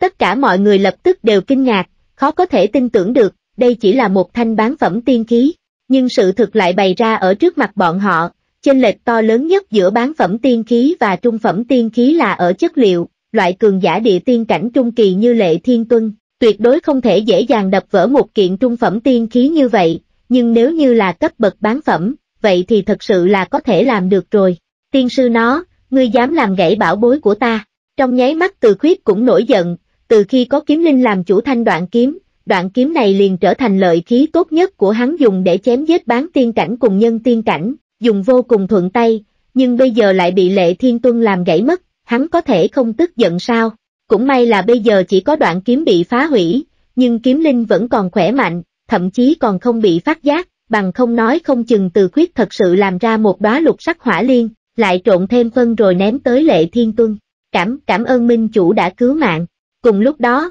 Lâm Hoang sau khi ở biên giới quỷ môn quan đi một chuyến, tránh được một kiếp đã tỉnh táo lại, liền quỳ bò trốn về bên cạnh lệ thiên tuân, điên cuồng dập đầu tạ ơn. Vừa rồi y thật sự tưởng rằng mình sẽ chết, hoàn toàn có thể cảm nhận được cảm thụ của những tu sĩ bị từ khuyết dùng một kiếm chém chết kia, quả thực là quá khủng bố, quá đáng sợ. Một chiêu chém chết nhân tiên cảnh, thật sự là không khoa trương một chút nào. Rác rưởi, lệ thiên tuân một lần nữa quét qua lâm hoang một chút, lập tức lại nhìn về phía từ khuyết, lạnh lùng nói, từ khuyết, bản minh chủ có thể cho ngươi một cơ hội sống sót, mang theo người của ngươi đi tới khu vực trung tâm, giúp bản minh chủ mang một thứ về, liền có thể miễn đi tội chết. Khu vực trung tâm, Lâm Bách Vạn cùng Diêu Cung Minh cùng với thành viên của hai thế lực ở phía sau vừa nghe thấy vậy, mặt lập tức biến sắc, bọn họ đã ở chỗ này sinh hoạt nhiều năm như vậy, không có lý do gì không biết khu vực trung tâm là địa bàn của kiến sinh cơ vương, nếu như nói phía đông ngoại thành là địa phương không nên chọc vào nhất, cửu tử nhất sinh,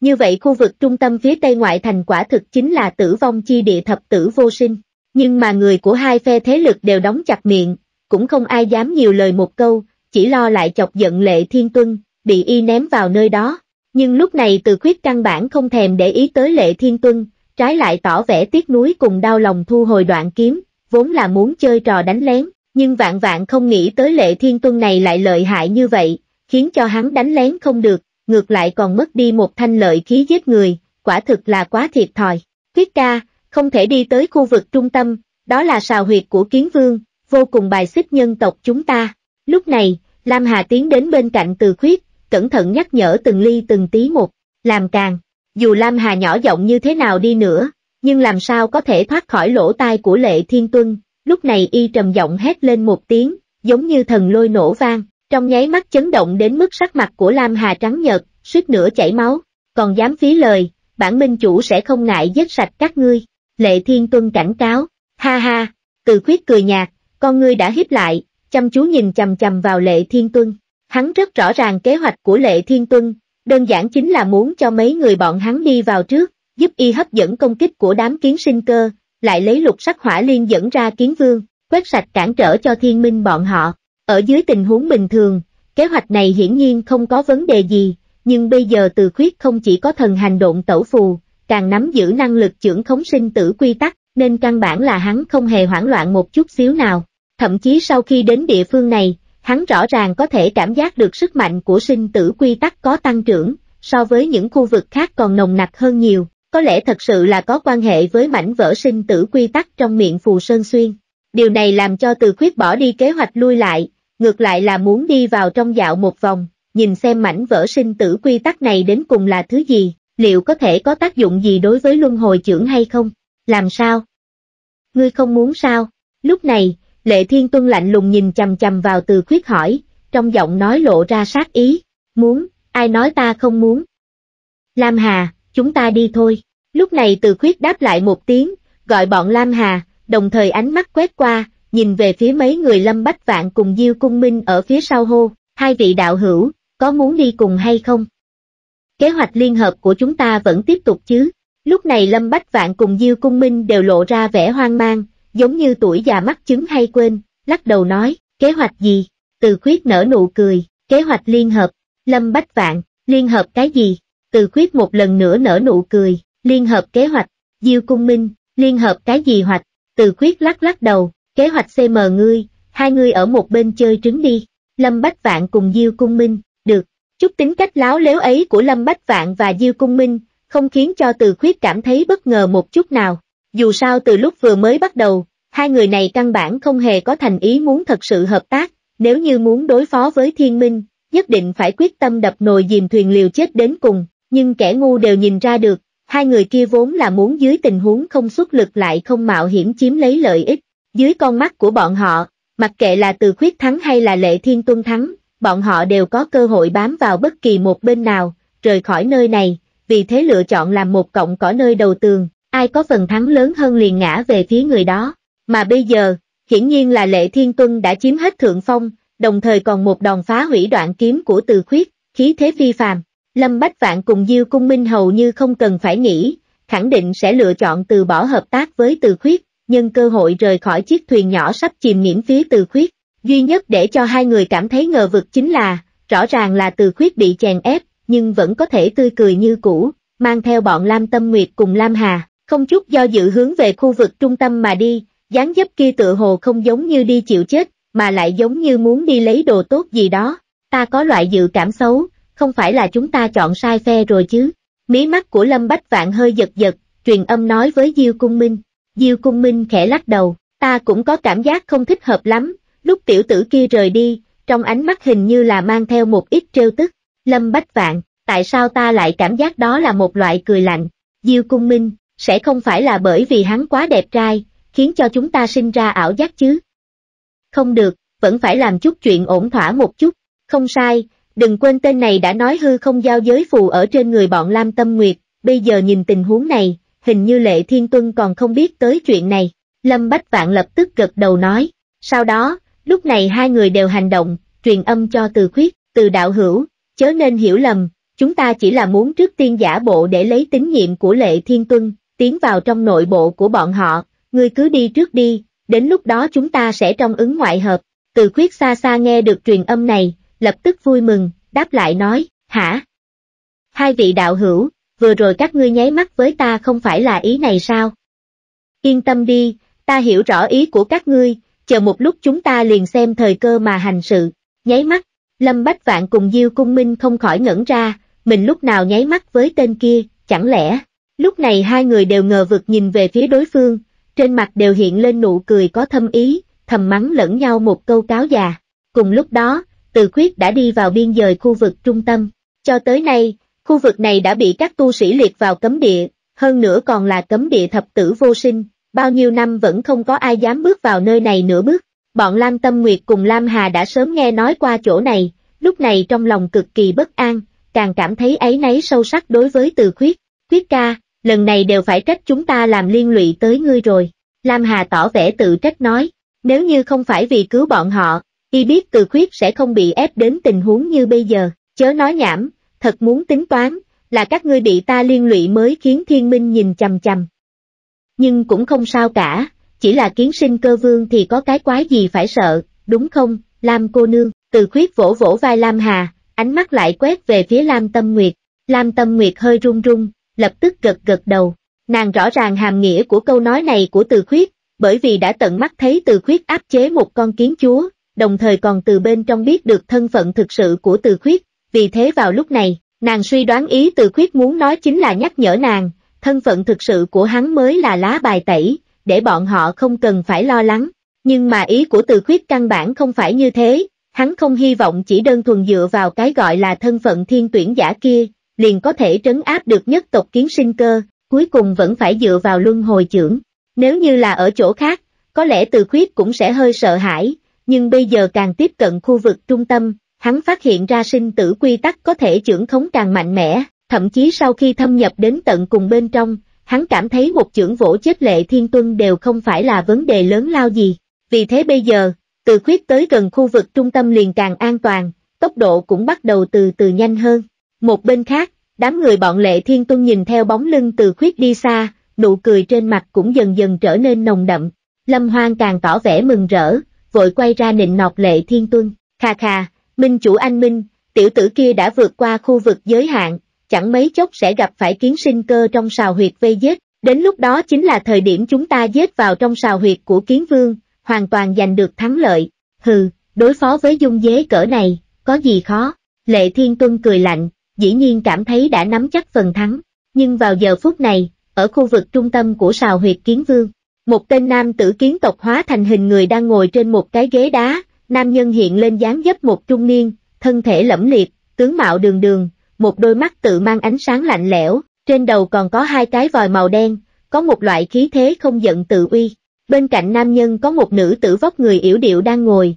lúc này đang chu cái miệng nhỏ nhắn, nhìn một cái hồ nước nhỏ trên mặt đất. Trong hồ đang phản chiếu ra một hình ảnh, từ khuyết mang theo bọn Lam Tâm Nguyệt đang hướng về phía bọn họ bên này. Hồi bẩm vương thượng, mấy nhân tộc này đã vượt qua phòng tuyến thứ nhất, thật sự là chúng ta không để ý tới sao. Một con kiến sinh cơ vội vã chạy tới, quỳ trên đất dò hỏi, không cần, người đàn ông trung niên lại nhàn nhạt lắc lắc đầu, cũng không muốn cản trở. Ai nha, phụ vương, ngươi làm sao lại mặc kệ hắn, chính là người này phá hủy sào huyệt của con, làm con tức chết rồi. Nữ tử yểu điệu lúc này chu miệng, thở phì phò nói, hiển nhiên, nữ tử yểu điệu này chính là con kiến chúa mà lúc trước từ khuyết đã từng tai họa qua ở phía đông ngoại thành, cũng là một trong những đứa con gái của kiến vương. Người đàn ông trung niên chính là kiến vương thiên quốc vạn của tộc kiến sinh cơ, một thân tu vi cao thâm khó dò, là vương giả duy nhất trong toàn bộ kiến tộc, quyền thế ngập trời. Nhưng sau khi từ trong miệng của nữ nhi mình biết được thân phận của từ khuyết, y lại tràn ngập kiên kỵ. Di nhi, nếu người này đúng như lời ngươi nói, là thiên tuyển giả, thậm chí là đạo lữ của vị kia, vậy thì chúng ta không chỉ là không thể động vào hắn, thậm chí ngay cả một chút bất kính cũng không thể có, ngươi trước đây đã đắc tội với hắn, sau này nếu như xác định được thân phận của hắn, ngươi nhất định phải bồi tội với hắn. Kiến vương thiên quốc vạn trầm giọng nói, sắc mặt cực kỳ nghiêm túc, chỉ có y mới rõ ràng, người năm đó dùng một chưởng vỗ chỗ này thành thất lạc chi địa khủng bố cỡ nào, kiến tộc chỉ là một tiểu tộc không đáng chú ý dưới quyền của nàng, nếu như thật sự chọc nàng giận, nhất định sẽ vạn kiếp bất phục. Thiên Di Nhi vừa nghe thấy phụ vương mình nói vậy càng không phục, nghiến răng nghiến lợi nhìn hình ảnh từ khuyết trong hồ nước, ảo não nói, phụ vương, con chỉ là cùng tên này đùa giỡn mà thôi, nhưng hắn lại cướp đi tuổi thọ của con, còn bảo con ban đêm một mình đi tới phòng của hắn, cùng hắn cầm đuốc nói chuyện ban đêm, trên thực tế chính là muốn tiếp tục cướp đoạt tuổi thọ của con, dựa vào cái gì mà con phải xin lỗi hắn,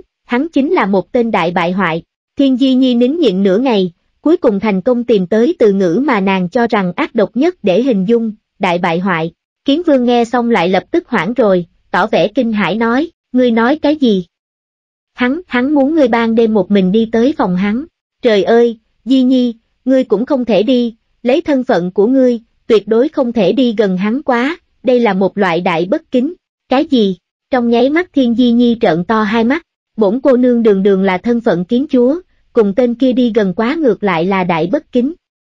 Có cần khoa trương như vậy không? Hừ, nếu như hắn thực sự là đạo lữ của vị kia, thân phận cao quý cỡ nào, chúng ta há có thể tính toán được, ngươi còn nhỏ, chờ sau này ngươi lớn lên sẽ rõ ràng. Thiên quốc vạn nói được một nửa, không khỏi lắc đầu, lấy ý hiểu của y, từ khuyết bảo nữ nhi của y đêm khuya đi tới phòng, làm sao muốn cướp đoạt tuổi thọ, rõ ràng chính là muốn làm chuyện gì đó mà. Nhưng vào lúc này y lại không biết giải thích như thế nào với cô con gái ngốc của mình, thẳng thắn không nói nhiều nữa, trực tiếp đứng lên, nhìn về đông đảo tinh anh kiến tộc phía dưới trướng, trầm giọng nói, truyền lệnh xuống, tất cả tộc nhân đều không thể đứng ra ngăn cản mấy nhân tộc này, tạm thời xem bọn họ là quý khách, để bọn họ đi vào, bản vương muốn nhìn thấy bọn họ, tuân lệnh, một con kiến sinh cơ lập tức đáp lại, vội vã lĩnh mệnh lui ra. Giờ phút này, khu vực trung tâm phía tây ngoại thành, từ khuyết cùng bọn Lam Tâm Nguyệt vẫn đang không ngừng thâm nhập vào trong, chỉ là suốt quá trình đi tới, càng chạy lại càng cảm thấy quỷ dị,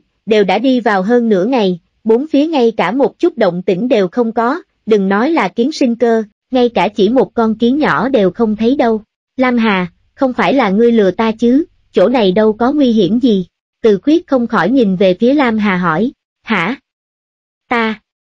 Ta không biết, ta cũng là nghe người khác nói chỗ này rất nguy hiểm thôi. Lam Hà cũng lộ ra vẻ ngơ ngác, khu vực trung tâm ở phía tây ngoại thành, ở trong thất lạc chi thành vẫn bị lưu truyền là rất khủng bố, nhưng bây giờ sau khi thật sự tới đây, y phát hiện ra tình huống cũng không hề đáng sợ như mình tưởng tượng, thậm chí là ở nơi xa phía sau, lúc này bọn lệ thiên tuân cũng đang há hốc mồm, chuyện này, đây là tình huống như thế nào?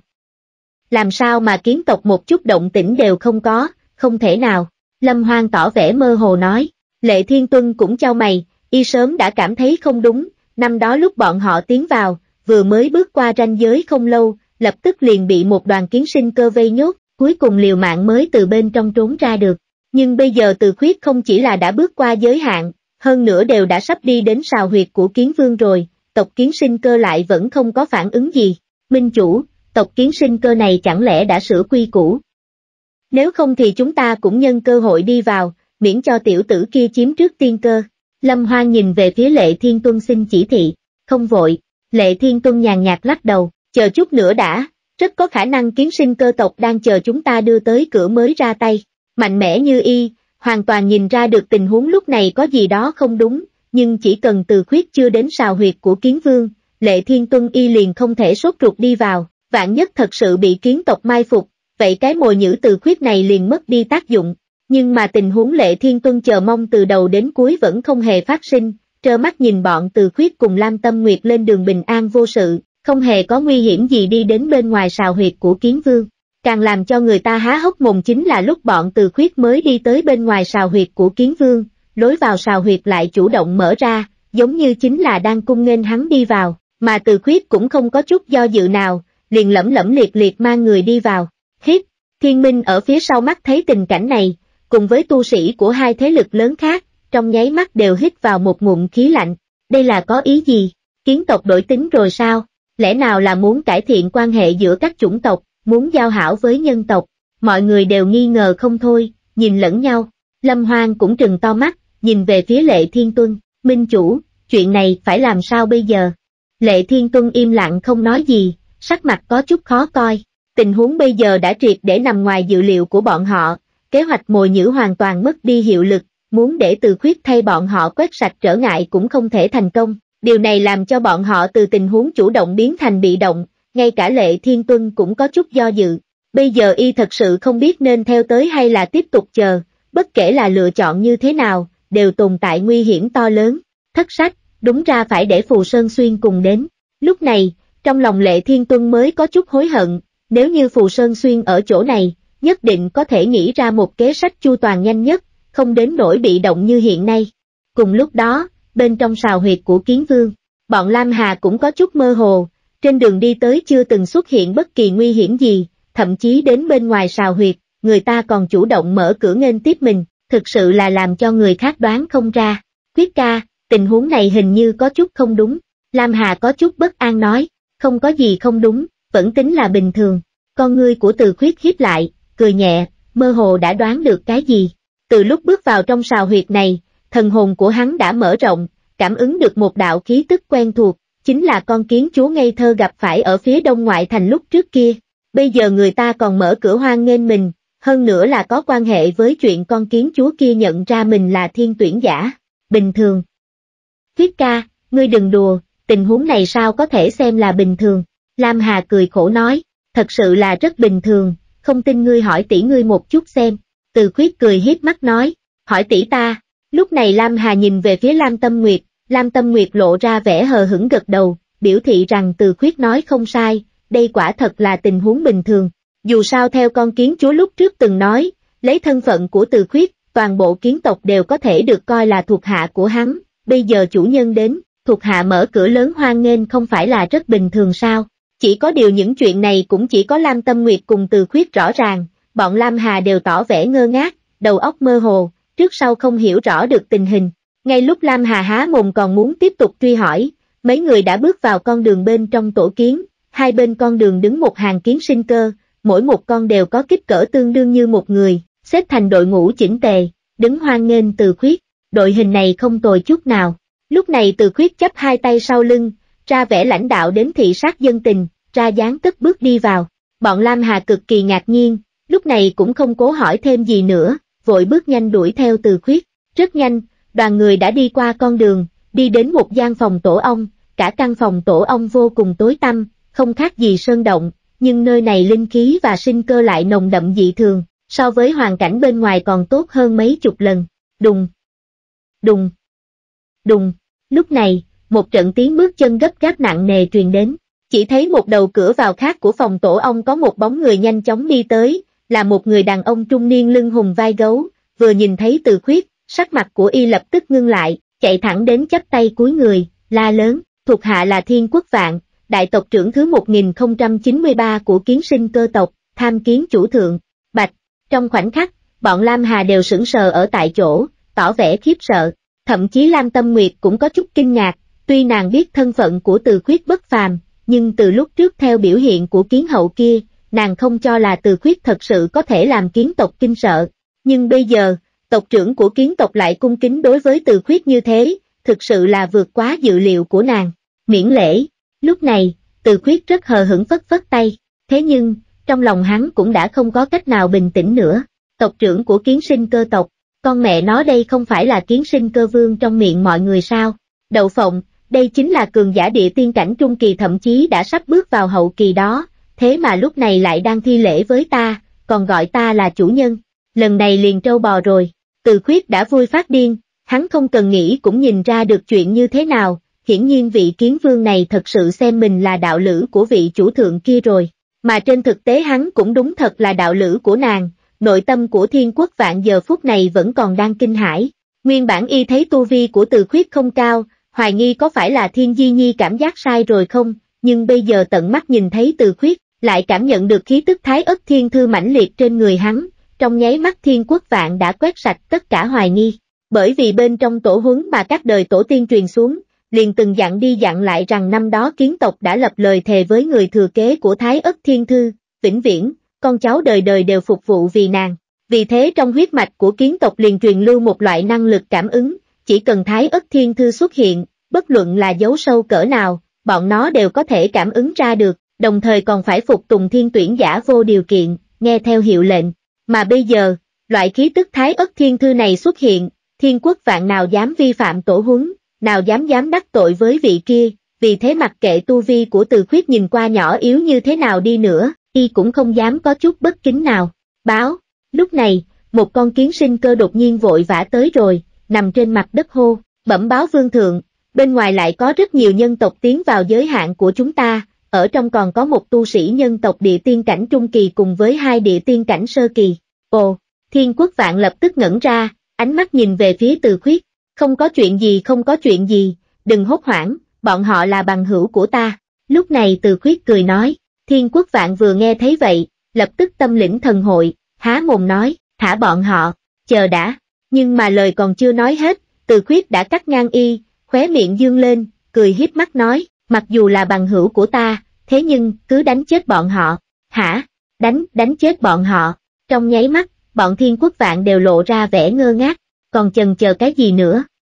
Nhanh lên một chút, có bao nhiêu người liền phái bấy nhiêu, cứ đánh chết bọn họ, đừng cho ta mặt mũi, từ khuyết thúc giục. Lúc này thiên quốc vạn mới tỉnh táo lại, cũng không quan tâm xem từ khuyết có ý gì nữa, lúc này phất tay nói, truyền khẩu dụ của bản vương, tất cả tộc nhân đều mở ra cấm chế, người xông vào giới hạn, giết không tha, tuân lệnh, một con kiến sinh cơ lĩnh mệnh, vội vàng lui ra làm việc. Lúc này trên mặt của từ khuyết mới lộ ra nụ cười, nhìn về phía thiên quốc vạn, làm bộ làm ra vẻ khen ngợi, gật đầu nói, không tồi, không nghĩ tới thời gian qua đi nhiều năm như vậy, các ngươi vẫn trung thành tuyệt đối như trước, không uổng công ta ngàn dặm xa xôi chạy tới nhìn các ngươi. Thiên quốc vạn vừa nghe được lời này, lập tức cả người chấn động, trong lòng không khỏi trở nên kích động. Thời gian qua đã đi nhiều năm như vậy, chủ thượng vẫn còn nhớ kiến tộc chúng ta. Thậm chí còn để đạo lữ của mình chạy tới đây xem. Chuyện này, đây thực sự là vinh hạnh lớn lao a. Chủ thượng, nàng, nàng có khỏe không? Thiên quốc vạn thụ sủng nhược kinh nói, nàng. Cũng còn tốt, vẫn như cũ, từ khuyết tùy ý lừa gạt đáp, nhưng lời này lại lần nữa làm cho thiên quốc vạn kinh sợ. Năm tháng dài đằng đẵng trôi qua như vậy, kiến tộc bọn họ đều đã thay đổi vô số đời tộc trưởng, nhưng vị kia lại vẫn như cũ, như cũ có ý như thế nào, chính là mang ý nghĩa nàng vẫn thiên thu vạn năm như cũ, ống ánh vô địch như ngày xưa, thật không hổ là chủ thượng, nhưng dựa theo miêu tả của các đời tổ tiên, chủ thượng là một người mạnh mẽ biết bao, tại sao lại tìm một đạo lữ còn trẻ hơn nữa tu vi thấp như vậy, là bởi vì tư chất, hay là cảm tình chân chính,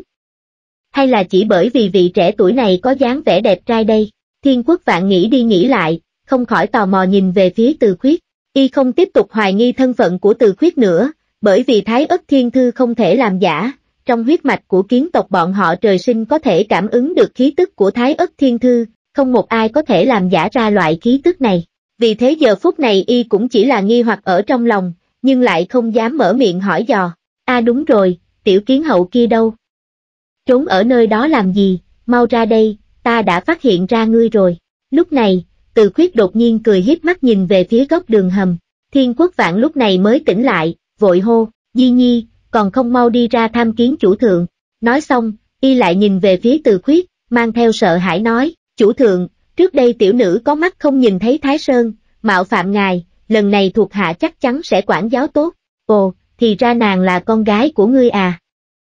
Không sao không sao, dù sao cũng là tiểu nữ sinh mà, nghịch ngợm một chút cũng rất tốt. Từ khuyết tỏ vẻ vui rạo rực cười nói, trong lòng của thiên quốc vạn lập tức hơi hồi hộp một chút, thầm nói vị chủ thượng này sẽ không phải là thật sự cảm thấy hứng thú đối với con gái mình chứ. Nhưng mà, chuyện này hình như không được tốt lắm, tuy nói trước đây cũng đã từng nghe nói chuyện nhân tộc cùng yêu tộc kết hợp, nhưng xưa nay chưa từng nghe nói nhân tộc còn có thể để ý tới kiến tộc, tham, tham kiến chủ thượng. Lúc này, một giọng nói nhỏ nhẹ truyền đến, âm thanh mặc dù có chút nhát gan, nhưng bên trong nghe ra được có mang theo oán niệm cùng không phục rất mạnh. Từ khuyết ngẩng đầu nhìn lại, đúng như dự đoán, kiến hậu gặp được ở phía đông ngoại thành trước đây vẫn lấy hình người xuất hiện, từ trong lối đi đi ra. Đến đến đến, đừng có khách khí như vậy, chính là không đánh nhau thì không quen biết, lần trước không làm ngươi bị thương chứ. Lúc này từ khuyết hướng Thiên Di Nhi vẫy vẫy tay, cười hiếp mắt nói, làm bị thương. Thiên Di Nhi vừa nghe được lời này, lập tức liền cảm thấy giận mà không có chỗ phát tiết. Lần trước đâu chỉ là làm nàng bị thương, tên này còn cướp đi hơn nửa tuổi thọ của nàng, quả thực là đáng ghét đến cực điểm. Nếu thấy hay thì nhớ like và đăng ký kênh để ủng hộ mình nha. Không có, nhưng mà ở dưới ánh mắt nghiêm túc của thiên quốc vạn nhìn chằm chằm, thiên di nhi chỉ có thể chu miệng nhỏ, không tình nguyện đáp lại một tiếng, không có. Không đúng rồi, ta mạnh mẽ như vậy, làm sao ngươi lại không bị thương được chứ?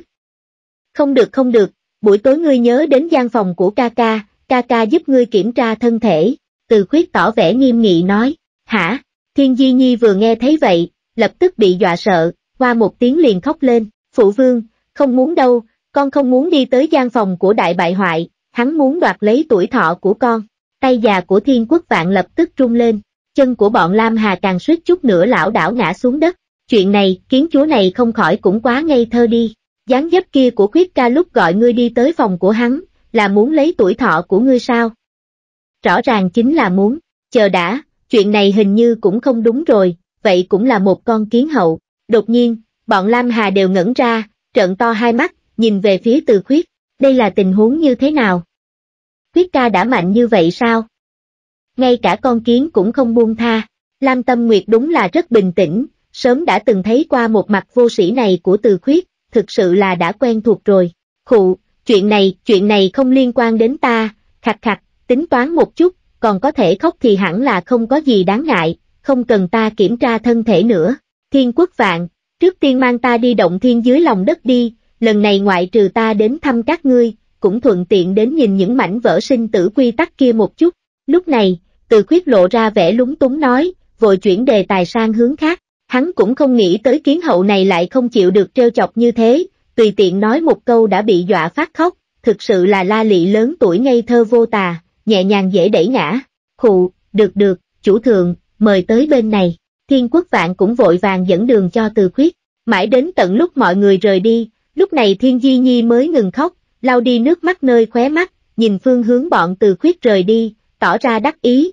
cười hì hì tự nói, hừ, đại bại hoại, muốn gạt lấy tuổi thọ của ta, không dễ như vậy đâu. Cùng lúc đó, ở ngoài sào huyệt của kiến vương, lệ thiên tuân xuất lĩnh mọi người của thiên minh, kể cả hai thế lực lớn của Lâm Bách Vạn và Diêu Cung Minh cũng đã thâm nhập vào khu vực trung tâm ở phía tây ngoại thành. Nhờ phúc của từ khuyết, lúc bọn họ đi qua giới hạn, cũng không gặp bất kỳ công kích nào, một đường cực kỳ an ổn. Điều này làm cho trong lòng của tất cả mọi người của thiên minh thất kinh, nhưng cũng đều thở phào nhẹ nhõm. Xem ra là đã quá lâu chúng ta không đến, chỗ này đã thay đổi. Lâm Hoang tỏ vẻ ung dung nói, có thể là tới đúng lúc, trong kiến tộc có khả năng đã xảy ra biến cố gì đó. Lệ Thiên Tuân gật đầu, minh chủ, sẽ không phải là vị kiến vương kia qua đời rồi chứ. Lâm Hoang đột nhiên suy đoán nói, Lệ Thiên Tuân ngẩn ra, lập tức lắc lắc đầu, hẳn là không thể qua đời, nhưng tình huống chắc không tốt, bằng không lấy tác phong của y, không thể để mặt chúng ta đi vào như vậy. Năm đó y đã cùng vị kiến vương kia giao thủ qua,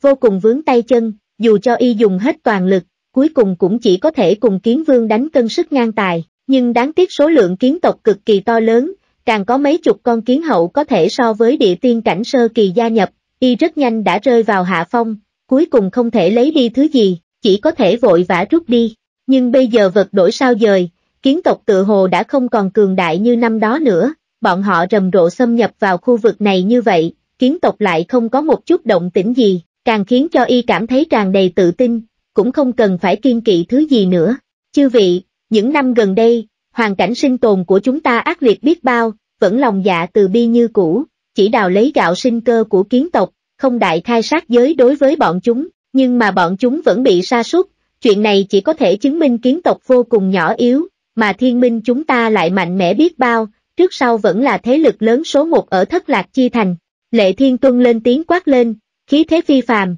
cổ vũ sĩ khí, thậm chí sau khi nói ra, chính y cũng cảm thấy cực kỳ kiêu ngạo, có thể dẫn dắt thiên minh đi tới mức độ mạnh mẽ như vậy. Thiên minh uy vũ, Lâm Hoang lập tức là người thứ nhất hưởng ứng, vung tay hô to, thiên minh uy vũ, mười mấy tên thành viên thiên minh còn lại, nhất thời cũng dồn dập cùng kêu lên hò hét, trong nháy mắt mặt của lệ thiên tuân tràn đầy ý cười, giơ tay ra hiệu mọi người im lặng, sau đó trầm giọng quát lên, mọi người thiên minh nghe lệnh, theo bản minh chủ giết vào, kể từ hôm nay, chúng ta không còn là đệ nhất thế lực của thất lạc chi thành nữa, mà là phải tiêu diệt kiến tộc, trở thành đệ nhất thế lực ở thất lạc chi địa, giết, mười mấy tên thành viên thiên minh đều hô theo, trong lúc nhất thời, bầu không khí cực kỳ nhiệt huyết, sĩ khí tăng vọt, thậm chí Lâm Bách Vạn cùng Diêu Cung Minh cùng nhân mã hai thế lực lớn cũng rụt rà rụt rịch, lòng tự tin tăng cao, cho là mình đã vô địch, kiến tộc không đáng kể chút nào. ầm ầm, đúng lúc này, từng tòa từng tòa núi lớn bốn phía đột nhiên vang lên từng trận nổ vang,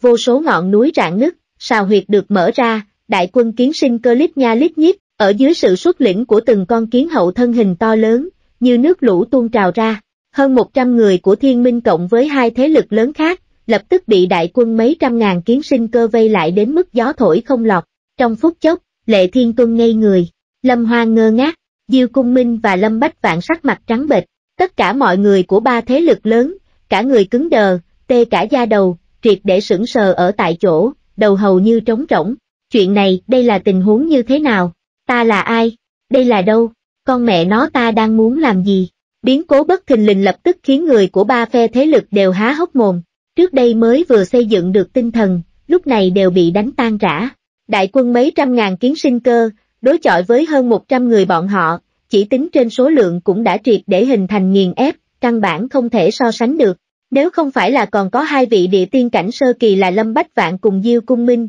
thêm vào một vị cường giả địa tiên cảnh trung kỳ lệ thiên tuân ở đây, e rằng hơn trăm tên tu sĩ nhân tiên cảnh này đã sớm bị sợ mất mật, không chiến mà bại. Nhưng chỉ cần có cường giả địa tiên cảnh ở đây, bọn họ vẫn có thể miễn cưỡng duy trì một ít trấn định. Dù sao mấy trăm ngàn kiến sinh cơ này, tất cả đều có tu vi có thể so với bán tiên cảnh cùng nhân tiên cảnh, chỉ có những con kiến chúa kia mới có thể sánh được với địa tiên cảnh sơ kỳ. Nhưng ở trước mặt địa tiên cảnh trung kỳ, chút số lượng kiến hậu ấy vẫn không được tính là uy hiếp, chỉ cần kiến vương không ra, bọn họ vẫn còn có sức đánh một trận, tuy rằng trận chiến này sẽ cực kỳ khó khăn, nhưng cũng tốt hơn là tuyệt vọng, đáng ghét.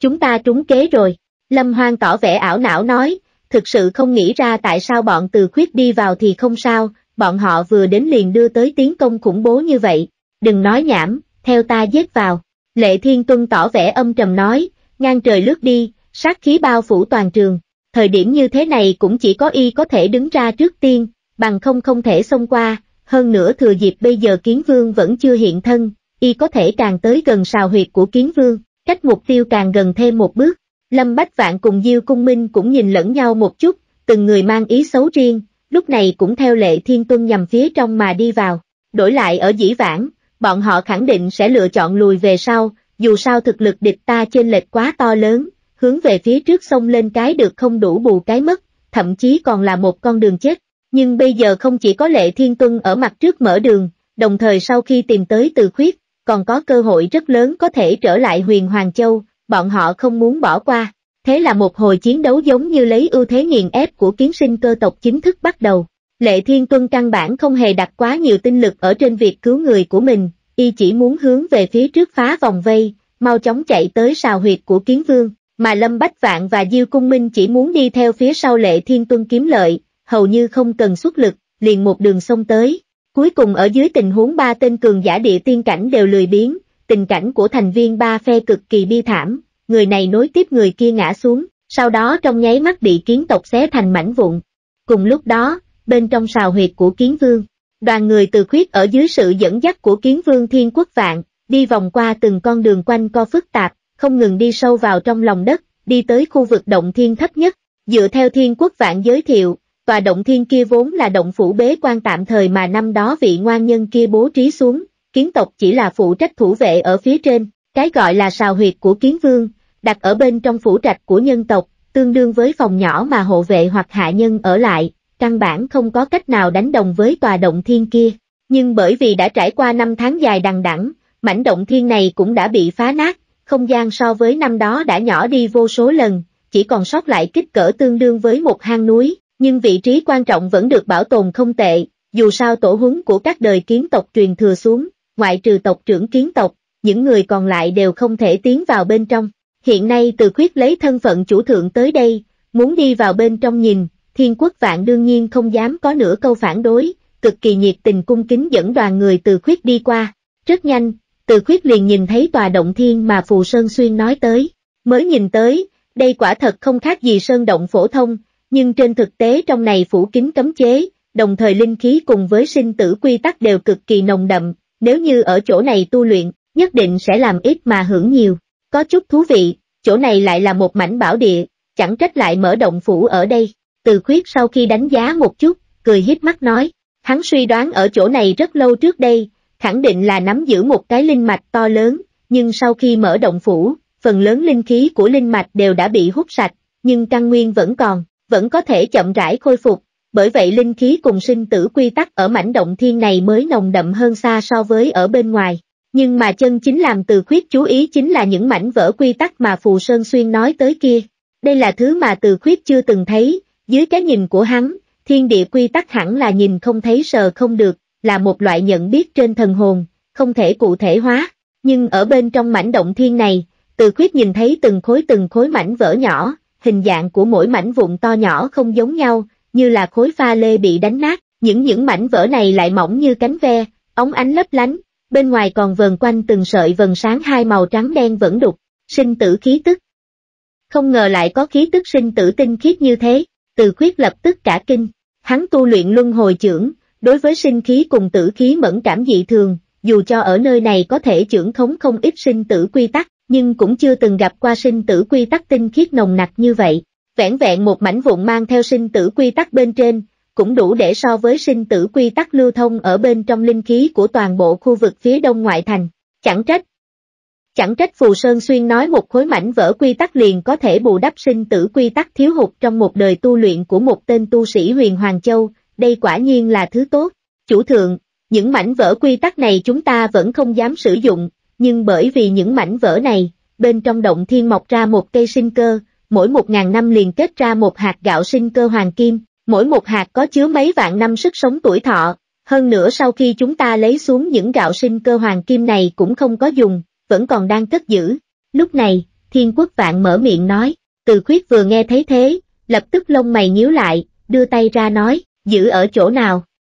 Nhanh lấy ra cho ta nhìn một chút, chứng minh là không phải ngươi đang khoác lác bức, hả? Thiên quốc vạn không khỏi sững sờ, khoác lác bức là có ý gì, nhưng y cũng không dám hỏi nhiều, nếu là đồ vật của chủ thượng, chủ thượng muốn xem, vậy khẳng định là phải lấy ra, bằng không bọn họ cất giấu nhiều năm như vậy cũng không dám sử dụng là vì cái gì. Chủ thượng, tất cả gạo sinh cơ cao cấp đều ở đây. Lúc này, thiên quốc vạn lấy ra một cái hộp ngọc ống ánh trong sáng, đưa cho từ khuyết. Trong hộp ngọc có chứa 6 hạt gạo sinh cơ, mỗi một hạt đều hiện lên màu vàng ống, hạt gạo hoàng kim kích cỡ tương đương với ngón tay cái, vô cùng đẹp đẽ. Chỉ có 6 hạt, từ khuyết hồ nghi nói, thiên quốc vạn vội vàng đáp, chủ thượng, cây sinh mệnh này là 6.000 năm trước mới vừa thành thục để có thể kết trái, vì thế đến nay cũng chỉ có 6 hạt gạo sinh cơ hoàng kim mà thôi. Hừng, cũng được, 6 hạt vừa vặn có thể lấy về cho 6 đứa bé nhà ta chơi. Từ khuyết giả vờ thâm trầm gật đầu, hết sức quen thuộc cất hộp ngọc đi. Thiên quốc vạn lộ ra vẻ kinh sợ, âm thầm tặc lưỡi, cốt linh của vị chủ thượng này nhìn qua đều chưa tới trăm tuổi, nhưng đã có 6 đứa bé, thực sự là quá lợi hại, xem ra chủ thượng tinh lực dồi dào, bình thường nhu cầu rất lớn, chẳng trách ngay cả kiến tộc chúng ta đều cạch, không được không được, thân là thuộc hạ, kiến tộc chúng ta sẽ không thể có loại ý nghĩ này, tuyệt đối không thể để cho Di Nhi trèo cao tới chủ thượng, bằng không chọc giận vị chính chủ kia liền không hay, ồ, quốc vạn à, lúc này, tiếng của từ khuyết truyền đến, cắt ngang tâm tư của thiên quốc vạn, thiên quốc vạn vội vàng quét đi các loại suy đoán lung tung, nhìn về phía từ khuyết, lúc đang muốn hỏi có gì dặn dò, nhưng lại không khỏi kinh ngạc một trận. Sau khi từ khuyết thu hồi gạo sinh cơ hoàng kim, vào lúc này đã giơ tay đưa về phía mấy khối mảnh vỡ sinh tử quy tắc nổi bồng bềnh giữa không trung kia, còn tỏ vẻ bình tĩnh nói ra, ta xem những mảnh vỡ quy tắc này ở lại chỗ các ngươi cũng không có tác dụng gì lớn, không bằng ta cũng mang đi thôi, vừa vặn trong nhà thiếu chút đồ trang trí,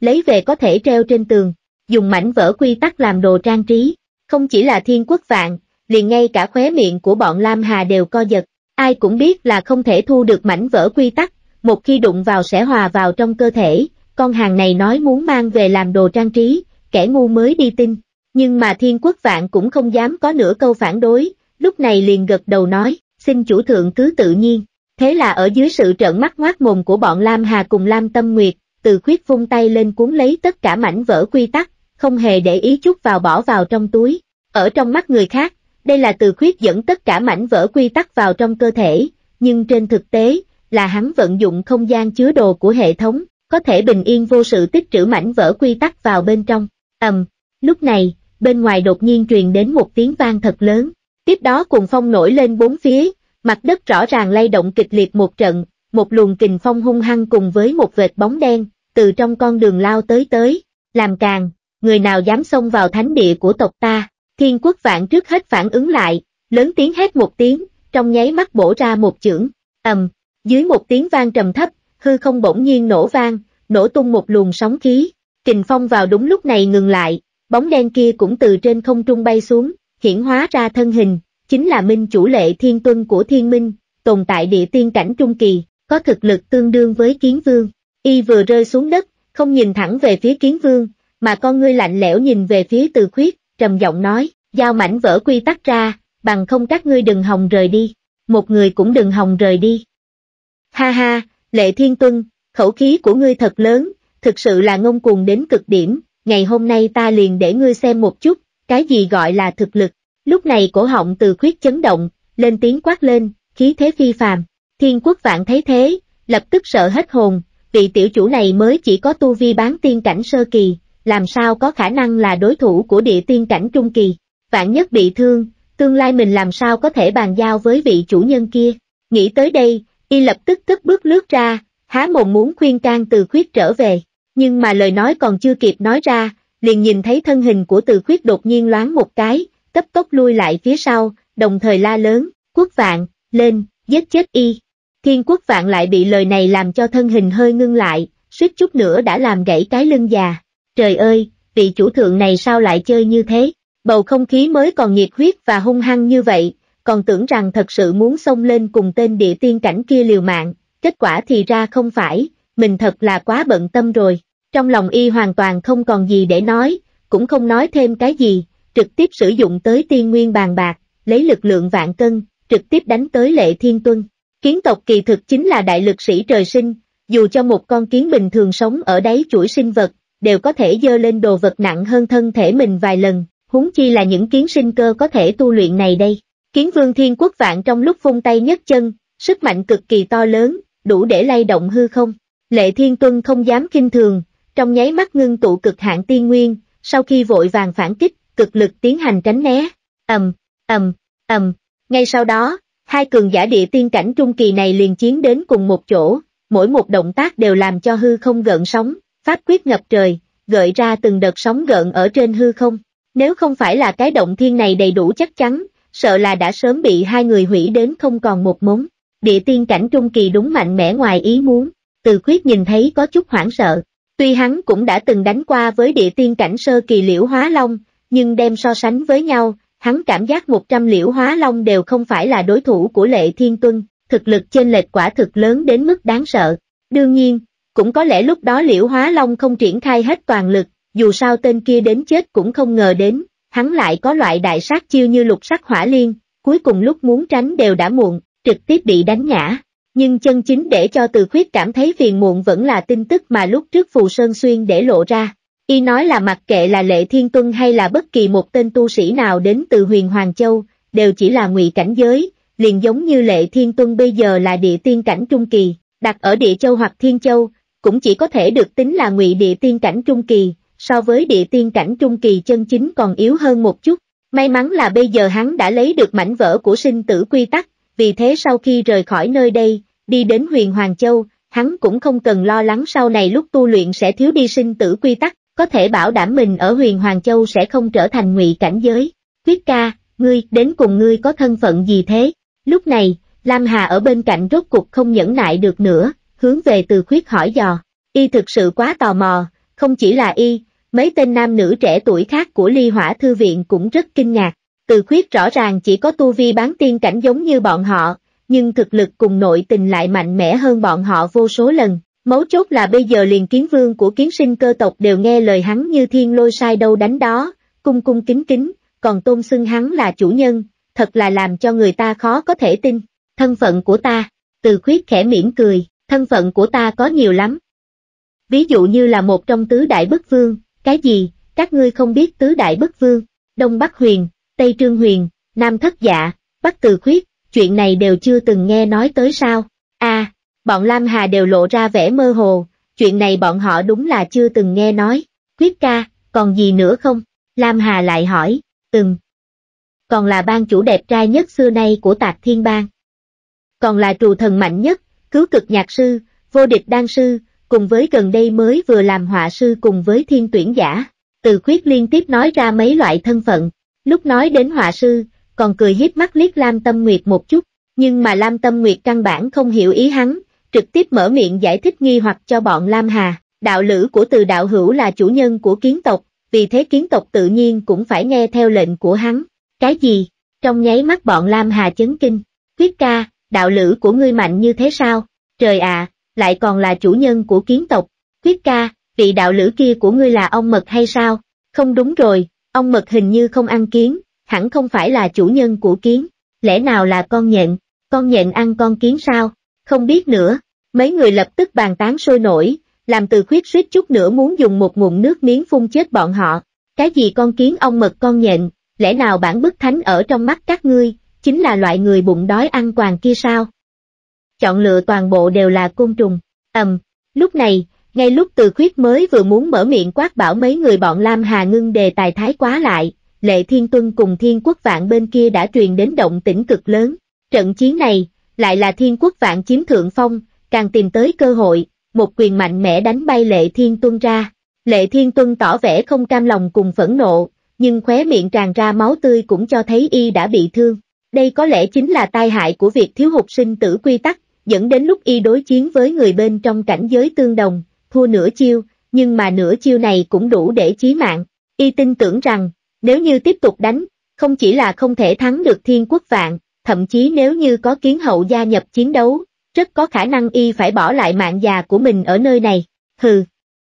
Từ khuyết, coi như ngươi may mắn, nhưng ngươi lẫn đi được nhất thời, không trốn được một đời, đợi ngươi trở lại thất lạc chi thành, ta nhất định sẽ khiến ngươi sống không bằng chết, trả lại gấp trăm lần. Cuối cùng, Lệ Thiên Tuân thả ra lời hung ác, trực tiếp hóa thành bóng mờ, cấp tốc lui lại phía sau. Thiên quốc vạn tuy rằng có thể đè ép được Lệ Thiên Tuân, nhưng dưới tình huống cảnh giới cùng thực lực kém không nhiều, Lệ Thiên Tuân muốn rút đi, y cũng không có cách nào có thể lưu người được, chỉ có thể trơ mắt nhìn Lệ Thiên Tuân chạy trốn. Từ khuyết lại cười gằn một tiếng, lắc đầu nói, tên ngu ngốc này, địa phương rác rưởi như thất lạc chi thành có cái gì tốt, ta trở lại làm gì?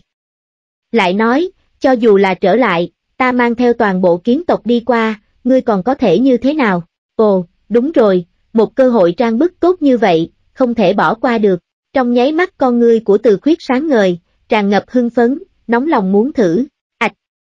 Tuyết ca, dưới tình huống bình thường, chúng ta đúng là phải trở về thất lạc chi thành, đồng thời kiến tộc cũng không có cách nào tới gần thất lạc chi thành được. Lúc này, Lam Hà đột nhiên cười nói, không thể không dội một gáo nước lạnh cho từ khuyết. Từ khuyết lập tức ngẩn ra, vì sao? Lúc này cũng không cần chờ Lam Hà tranh nói, thiên quốc vạn đã chủ động giải thích, chủ thượng có chỗ không biết, thiên địa quy tắc nơi đây đã bị hủy diệt sạch, chỉ còn dư lại sinh tử quy tắc, sinh và tử chính là luân hồi, nhưng sau khi mất đi những thiên địa quy tắc khác, vùng thế giới này đã mất cân bằng, bởi vậy dẫn đến việc nhân tộc trường kỳ ở bên dưới loại quy tắc này, sẽ bị đồng hóa, bị đồng hóa. Ngươi nói là biến thành sinh tử quy tắc, từ khuyết ngạc nhiên nói, thiên quốc vạn gật đầu, không sai, một khi nhân tộc ở bên ngoài thành vượt quá thời gian 2 năm thì sẽ bị đồng hóa, phân giải thành sinh tử quy tắc, chỉ có tòa thất lạc chi thành kia được người bố trí chút ít lực lượng ngũ hành, bù đắp một chút thiên địa quy tắc, cho nên nhân tộc mới có thể cư ngụ lâu được. Ngươi nói như thế, hình như thật sự là như vậy, lúc ta ở thất lạc chi thành, quả thật có thể cảm ứng được ngũ hành linh khí yếu ớt. Từ khuyết khẽ gật đầu, mới đầu hắn cho rằng chỉ là lực lượng ngũ hành một giới này lưu lại, không nghĩ tới lại là do con người bố trí ra. Bây giờ nhìn lại, thất lạc chi thành đúng là không đơn giản. Cũng khó trách trước khi lệ thiên tuân đi còn có thể thả ra loại lời hung ác kia, hiển nhiên là cảm thấy ăn chắc mình. Chủ thượng, vì thế trong vòng một hai năm này, xác thực là ngài phải trở về một chuyến, nếu không sẽ gặp nguy hiểm. Đồng thời kiến tộc chúng ta cũng không có cách nào tới gần tòa thành kia, chỗ kia là cấm địa duy nhất của kiến tộc chúng ta, một khi tới gần, bất luận mạnh mẽ cỡ nào đều sẽ bị cấm chế tiêu diệt. Nói đến đây, thiên quốc vạn hơi dừng lại một chút, nhìn bọn Lam Hà một chút, tiếp tục nói, đây cũng là lý do mà tại sao từng ấy năm tới nay, nhân tộc không ngừng trộm cướp gạo sinh cơ của tộc ta, mà tộc ta lại chưa từng tấn công thất lạc chi thành. Ồ, vậy thôi đi, ta không trở về nữa, dù sao ta cũng không phải loại người thích khoa trương, hơn nữa bọn họ lại còn có thói xấu thích trộm cướp, ta không muốn cùng bọn họ thông đồng làm bậy. Lúc này từ khuyết lộ ra vẻ ghét cay ghét đắng khiển trách nói, trên thực tế thì hai tháng sau hắn sẽ bố trí xong hư không giao giới phù, triệt để rời khỏi nơi quỷ quái này, vì thế có trở về thất lạc chi thành hay không cũng không quan trọng, nếu kiến tộc không vào được, liền mang ý nghĩa là không có cách nào trang bức, trở lại làm gì nữa, không trở về thất lạc chi thành. Tuyệt đối không thể được chủ thượng, ngài tuy yên tâm, thuộc hạ nhất định sẽ chuẩn bị tốt tất cả, trừ phi lệ thiên tuân kia muốn cùng kiến tộc ta không chết không thôi, bằng không hắn sẽ không dám làm gì ngài. Thiên quốc vạn tỏ vẻ ngưng trọng nói, hả, từ khuyết vừa nghe thấy thế, lông mày lập tức nhíu lại, hừ lạnh nói, lời này của ngươi là có ý gì? Chẳng lẽ ta đường đường là thiên tuyển giả, còn phải sợ tên lệ thiên tuân kia sao? Chủ thượng thứ tội, thuộc hạ tuyệt đối không phải có ý đó. Trong nháy mắt mặt của thiên quốc vạn biến sắc, vội vàng chắp tay cuối người nói, cái gọi là gần vua như gần cọp, rõ ràng là một phen ý tốt, làm sao lại chọc giận vị chủ thượng này rồi. Trong lòng thiên quốc vạn một mảnh cay đắng, nhưng cũng chính bởi vì như vậy, y lại càng thêm kính nể từ khuyết, thôi, cuối cùng, từ khuyết khoát tay áo một cái, ngươi không cần lo lắng an nguy của ta, trên thực tế qua đợt này ta liền muốn rời khỏi, vì thế có trở về thất lạc chi thành hay không cũng không quan trọng, thuộc hạ rõ ràng rồi, thiên quốc vạn vội vàng đáp, hừng, được rồi, ngươi lui xuống trước đi, từ khuyết khoát tay áo một cái, rất là hưởng thụ loại đãi ngộ này, có thể hô đến hoáng đi đối với một cường giả địa tiên cảnh trung kỳ, đúng là sảng khoái, vâng, thiên quốc vạn nghe thấy vậy, cũng không nói hai lời, trực tiếp lui ra, đi vào trong hành lang. Bên trong động thiên cũng chỉ còn sót lại đoàn người Lam Hà cùng Lam Tâm Nguyệt. Từ khuyết xoay người nhìn về phía bọn họ, bộ mặt căng thẳng lúc này mới lộ ra nụ cười, vừa định há mồm nói chuyện, lại đột nhiên nghe được trong lối đi truyền đến ầm một tiếng vang trầm thấp, ai? Tiếp đó, tiếng quát mắng của thiên quốc vạn vang lên, từ khuyết ngẩn ra, ngẩng đầu nhìn về phía cửa đường hầm, chỉ nghe thấy trong con đường truyền đến hai tiếng xé gió, sau đó mấy bóng người xuất hiện, trực tiếp vọt vào bên trong động thiên, chính là Lâm Bách Vạn cùng Diêu Cung Minh cùng với vài tên tu sĩ nhân tiên cảnh. Bọn họ so với lệ thiên tuân tiến vào trong sào huyệt của kiến vương chậm hơn một bước, rồi lại không quen đường, chỉ có thể đi loạn xung quanh, cuối cùng cũng ngơ ngơ ngác ngác đi tới phụ cận nơi này, bị thiên quốc vạn truy đuổi vào. Từ đạo hữu, thì ra ngươi ở đây, chẳng lẽ là kiến vương kia giam cầm các ngươi ở đây? Mấy người vừa nhìn thấy từ khuyết, mặt lập tức lộ ra vẻ vui mừng, bước nhanh chạy tới, ầm, lúc này, cổ bi thế mạnh mẽ của thiên quốc vạn buông xuống, giống như một tòa núi lớn vô hình khủng bố, lực ngàn cân hung hăng phủ xuống. A, lúc này mấy người lâm bách vạn cùng Diêu Cung Minh đều kinh hô một tiếng, trong nháy mắt bị mạnh mẽ đè xuống đất, mặt không còn chút máu, tỏ vẻ sợ hãi. Ngay sau đó, thân hình thiên quốc vạn nhán lên liền tiến lên, trực tiếp quỳ một chân trên đất, hướng từ khuyết chấp tay thỉnh tội nói, chủ thượng thứ tội, là thuộc hạ thất trách, để những người này xông tới, quấy rối chủ thượng nghỉ ngơi. Trong nháy mắt, đoàn người lâm bách vạn cùng Diêu Cung Minh hoàn toàn há hốc mồm, trợn mắt ngoác mồm. Chủ thượng, đường đường kiến vương địa tiên cảnh trung kỳ, lại xưng hô với từ khuyết là chủ thượng. Đồng thời còn quỳ xuống đất thỉnh tội với hắn. Trời ơi, tiểu tử này đến cùng là có lai lịch gì? Khà khà, không sao, mấy người này là bằng hữu của ta. Lúc này, khóe miệng của từ khuyết dương lên, cười tủm tỉm đi lên phía trước. Bằng hữu, sắc mặt của thiên quốc vạn lập tức trở nên quái lạ, dù sao lúc trước từ khuyết cũng đã nói như thế, kêu bọn họ đánh chết đám bằng hữu này. Bọn lâm bách vạn cùng Diêu Cung Minh lại thở dài ra một hơi, mặc kệ thân phận của từ khuyết là gì, có thể coi bọn họ là bằng hữu liền được rồi, ít nhất có thể thoát khỏi nguy hiểm. Chủ thượng, cần đánh chết bọn họ không? Nhưng mà, thiên quốc vạn không chỉ không thả bọn họ ra, trái lại vẻ mặt thành thật nhìn về phía từ khuyết hỏi. Đoàn người lâm bách vạn lập tức ngẩn ra, cực kỳ căm tức. Con mẹ nó, chủ thượng của các ngươi đều đã nói chúng ta là bằng hữu, còn hỏi có cần đánh chết hay không? Chuyện này có còn thiên lý hay không, có vương pháp hay không? Từ đạo hữu, chuyện này, lúc này lâm bách vạn sầm mặt lại, nhìn về phía từ khuyết, hy vọng từ khuyết có thể cho lời giải thích. Ha ha, mấy vị đừng nóng giận, yên tâm đi, ta đến xử lý. Từ khuyết cười ha ha, cất bước đi ra, nhìn về phía thiên quốc vạn. Ngay sau đó, một lần nữa hắn sừng sộ lên, trầm giọng nói, quốc vạn, ngươi đây là có ý gì? Mấy người này là bằng hữu ta, tại sao ngươi có thể đối xử với bọn họ như vậy? A, thiên quốc vạn lập tức sửng sốt, mấy người lâm bách vạn lại tỏ vẻ ngạo nghễ, cười gằn nhìn về phía thiên quốc vạn, nhưng đúng lúc này, từ khuyết lại nói tiếp, ngươi đến cùng có nghe rõ lời ta nói hay không, vừa rồi không phải ta đã nói cho ngươi rồi sao? Cứ đánh chết bọn họ.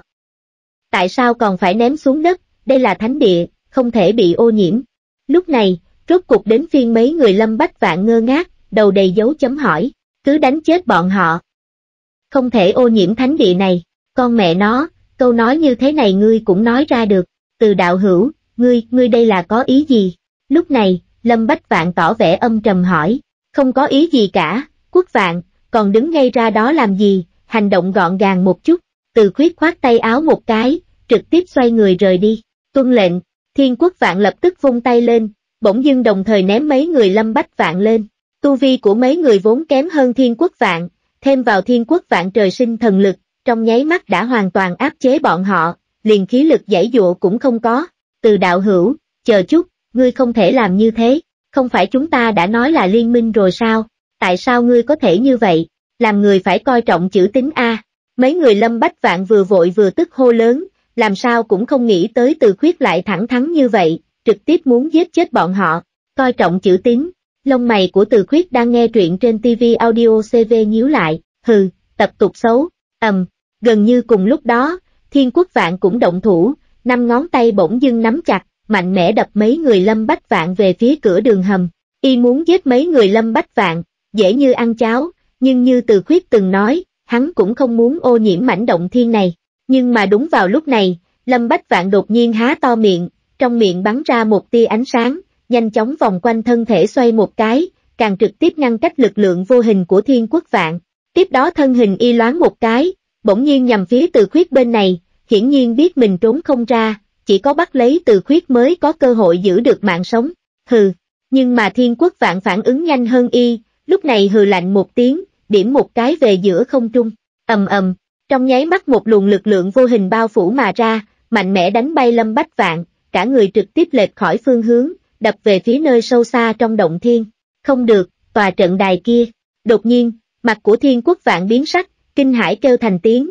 nhằm phía kia đi vào. Sau khi lâm bách vạn bị y đánh bay, trực tiếp đập về phía tòa trận đài bên trong động thiên, đó chính là đại trận dùng để liên hệ với vị kia, khởi động một lần sẽ bị hỏng. Nhưng mà cuối cùng thì thiên quốc vạn cũng bị chậm một bước, sau khi lâm bách vạn rơi vào bên trong trận đài, máu tươi trong miệng phun ra tung tóe, vừa vặn phun lên trên trận đài, máu của địa tiên cảnh sơ kỳ, dù như thế nào cũng là tồn tại tràn ngập linh khí. Quanh một tiếng, trong nháy mắt toàn bộ phù văn dấu ấn trên trận đài hừng hực, trở nên óng ánh, sau khi trận đài hơi chấn động một cái tu hai hoàn toàn bị kích hoạt, xong, mặt của thiên quốc vạn lập tức xám như tro tàn. Dù sao tổ tiên có huấn, trừ phi có nguy cơ diệt tộc, bằng không tuyệt đối không thể quấy rối vị ngoan nhân này. Nhưng bây giờ, tòa trận đài duy nhất có thể liên lạc với vị ngoan nhân kia lại bắt đầu khởi động, y làm sao không hoãn cho được. ầm, lúc này, phù văn trên trận đài đột nhiên đổ nát, tiếp đó đẩy ra một vòng ánh sáng, tràn ngập toàn bộ động thiên.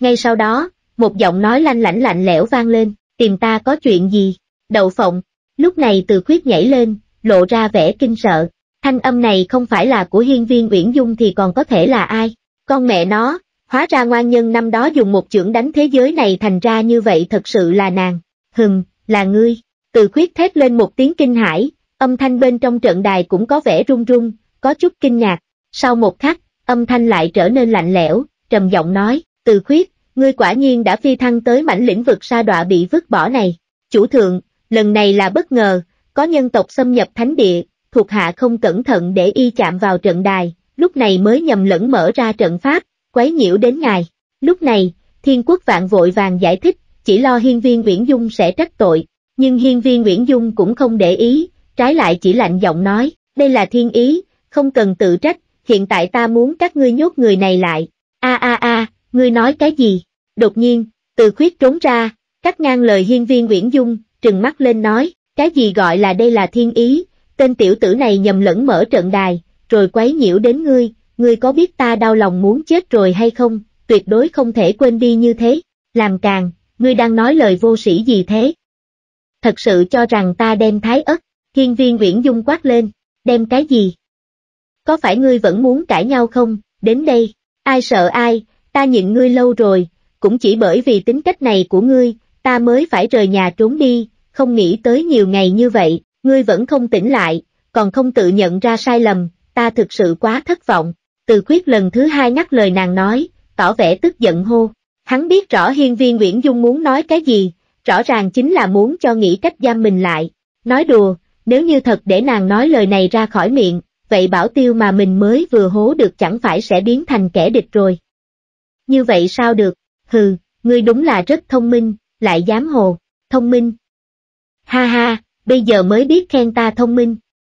Ta đã nói với ngươi, đã muộn rồi, ngươi nói gì cũng vô dụng, ly hôn. Từ khuyết cực kỳ bá khí quát lên, thể hiện ra chí khí nam nhân. Thiên quốc vạn nhìn thấy thế thì trợn mắt ngoác mồm, trong lòng run rẩy. Vị kia chính là người hung ác vô địch thế gian cùng thời tổ tiên của bọn họ, kết quả vị từ tiểu chủ này lại dám nói với nàng như thế, quả thực là quá trâu bò. Thời khắc này, lòng kính ngưỡng của thiên quốc vạn đối với từ khuyết trong nháy mắt như nước sông cuồn cuộn, liên miên không dứt, như hoàng hà tràn lan, một lời không thể diễn tả hết. Ngươi, lúc này hiên viên Nguyễn Dung đã thật sự nổi giận, ngữ khí đột nhiên tăng cao, dù khoảng cách xa xôi, nhưng bên trong trận đài vẫn có thể cảm nhận được sát khí ngập trời của nàng. Nhưng từ khuyết không thể để nàng có cơ hội nói hết lời, hắn lại mở miệng ngắt lời nói, ngươi cái gì mà ngươi? Đừng tưởng rằng còn có cơ hội để cứu vãn, ta đã nói với ngươi, ngươi không thay đổi tính khí này của ngươi, ta với ngươi sẽ không có tương lai, chính ngươi xem mà làm đi. Hiên viên Nguyễn Dung, làm càng, từ khuyết, đúng, thích sẽ làm càng, nhưng yêu sẽ khắc chế. Ngay cả đạo lý này ngươi cũng không hiểu, ngươi dựa vào cái gì mà nói yêu ta. Hiên viên Uyển Dung, ta, từ khuyết, ta cho rằng ngươi sẽ không giống nữ nhân khác, có thể hiểu tâm ý của ta, nhìn thấy nội tâm ta, nhưng mà ngươi cũng chỉ là nhìn thấy vẻ bề ngoài đẹp trai của ta, mê muội tấm thân đẹp trai của ta, thực sự quá nông cạn. Ngươi, ngươi thay đổi rồi, trước đây ngươi không phải như vậy, lúc mới quen ta thì ôm nhu vui tươi, còn gọi ta là tiểu điềm điềm, nhưng từ sau khi ngươi đùa bẩn thân thể của ta, lại bắt đầu lộ nguyên hình, hô to gọi nhỏ với ta, ta thật nản lòng thoái chí, vô sĩ, đủ rồi, đủ rồi. Tốt, hóa ra ngươi thật sự đã chán ghét ta, thế thì chỉ cần nói với ta là được rồi, được, nếu ngươi không muốn nghe, vậy ta cũng không muốn nói thêm với ngươi cái gì nữa, tạm biệt, từ khuyết vừa dứt lời, lập tức vung tay lên, từ dưới khố móc ra huyền trọng xích, mạnh mẽ đập về phía tòa trận đài kia, ầm, một tiếng ầm thật lớn vang lên, trận đài trong nháy mắt vỡ tan rã, biến thành mảnh vỡ, tình cảnh trong động thiên hoàn toàn yên tĩnh, nghe được cả tiếng kim rơi, tất cả mọi người đều nhìn từ khuyết, không nói một lời, đừng an ủi ta, ta không sao cả, từ khuyết đột nhiên cúi đầu, khoát tay áo một cái với mọi người, giọng nói tràn ngập vẻ oải cùng tan thương, còn có một tia u buồn thống khổ. Dù là ai nhìn thấy dáng vẻ kia, đều sẽ cảm thấy hắn không phải là không có chuyện gì, trạng thái này của hắn, hoàn toàn chính là một nam nhân bị tình cảm tổn thương. A, chủ thượng, lúc này thiên quốc vạn tỏ vẻ cuộn bách cùng bất an, mở miệng muốn nói gì đó, nhưng lại không biết nên nói như thế nào.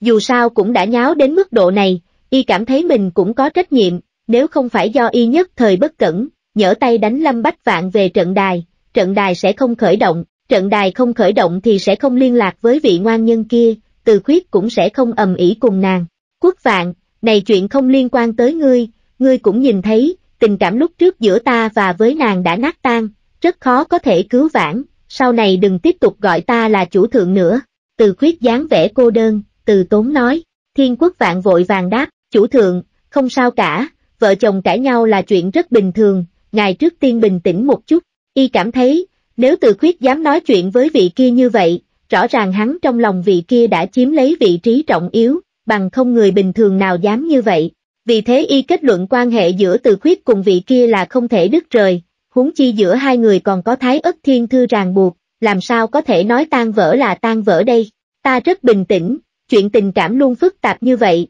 quan tâm không nói được nhưng lại không ngừng được. Hai, từ khuyết tỏ vẻ phiền muộn, u buồn lắc lắc đầu. Đám người Lam Hà cùng Lam Tâm Nguyệt đứng ở một bên, nhìn thấy dáng vẻ bị thương này của khuyết, không khỏi cũng có chút đồng tình và đau lòng, bọn họ đều muốn mở miệng khuyên can nhưng lại thôi. Giống như từ khuyết nói, chuyện tình cảm vốn rất phức tạp, bọn họ chỉ là những người đứng xem thì có thể nói được gì. Hai, lúc này, từ khuyết lại thở dài, ngửa mặt một góc 45 độ nhìn lên bầu trời, đột nhiên ngâm nga một tiếng ca thương cảm. Không thể nói yêu đừng nói dối, là một chút yêu thích, không thể nói hận đừng dây dưa, đừng giả bộ cảm thán, thông cảm tất cả, tha thứ tất cả, ta thử tìm đáp án, mà đáp án rất đơn giản, đơn giản đến mức đáng tiếc, bởi vì trưởng thành, chúng ta bất đắc dĩ phải quen thuộc, bởi vì trưởng thành, chúng ta nói tan, liền tan. Tiếng ca tràn ngập bi thương cùng sầu thảm kết thúc, tất cả mọi người đều sững sờ tại chỗ. Tiếng ca thật buồn, cách hát đặc biệt cùng giai điệu này,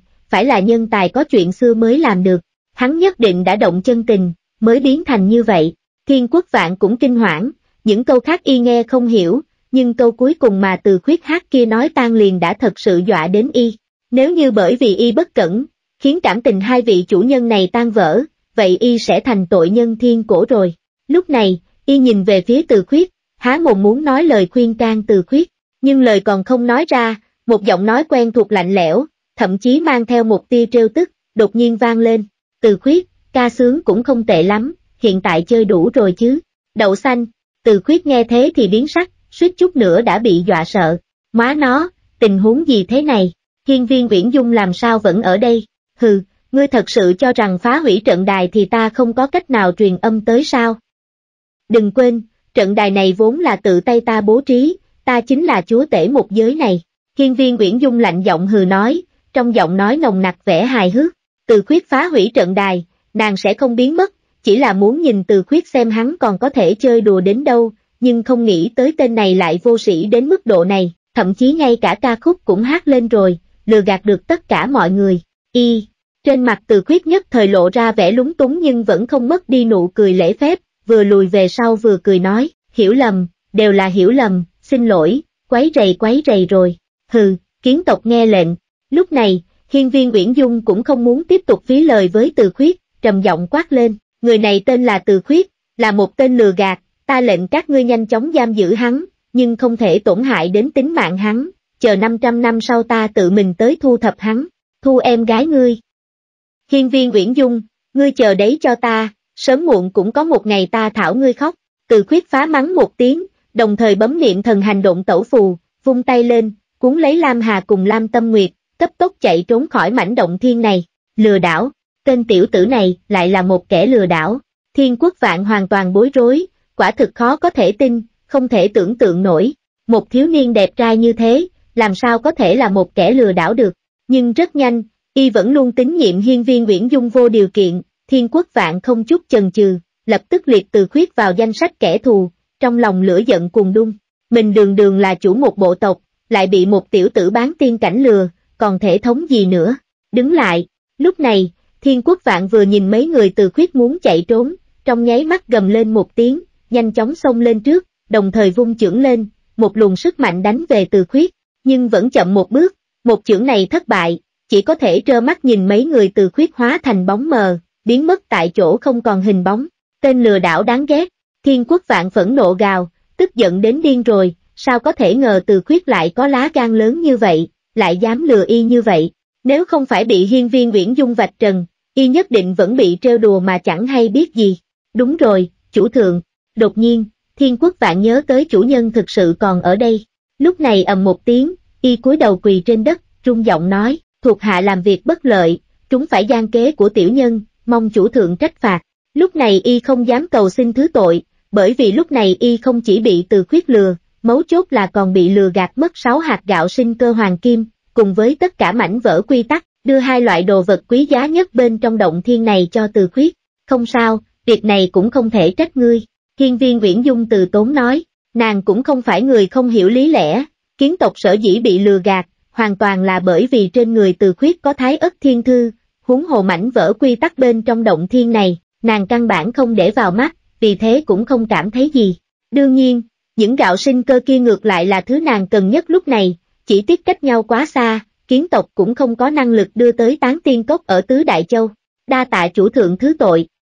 Thuộc hạ nhất định sẽ dùng toàn lực lùng bắt tên lừa gạt này, đem hắn ngàn đao bầm thay. Lúc này, thiên quốc vạn nghiến răng nghiến lợi nói, đã xem từ khuyết thành kẻ thù số một, không thể, hiên viên viễn dung lại trầm giọng quát lên, ta chỉ bảo các ngươi nhốt hắn lại, không cần các ngươi làm hại tính mạng hắn, nhớ kỹ, dù thế nào cũng phải để hắn sống sót, hiểu chưa? Rõ, thiên quốc vạn vội đáp, trong lòng cũng không khỏi khó hiểu, đều đã đến mức độ này, tại sao chủ thượng vẫn muốn giữ lại tính mạng của tên lừa gạt kia? Vèo, lúc này, bên trong động thiên dân lên một trận gió nhẹ, luồng khí tức cường đại kia đột nhiên biến mất. Lúc này, thiên quốc vạn mới tỉnh táo lại, nhưng vẫn không dám đứng lên, chỉ có thể cẩn thận từng ly từng tí dò hỏi, không biết chủ thượng còn có phân phó khác hay không. Nhưng sau khi chờ đợi một lúc lâu vẫn không thấy hiên viên Uyển Dung lên tiếng, hiển nhiên là nàng đã rời đi. Lúc này thiên quốc vạn mới thở dài một cái, từ trên mặt đất đứng lên. Phụ vương, làm sao thế?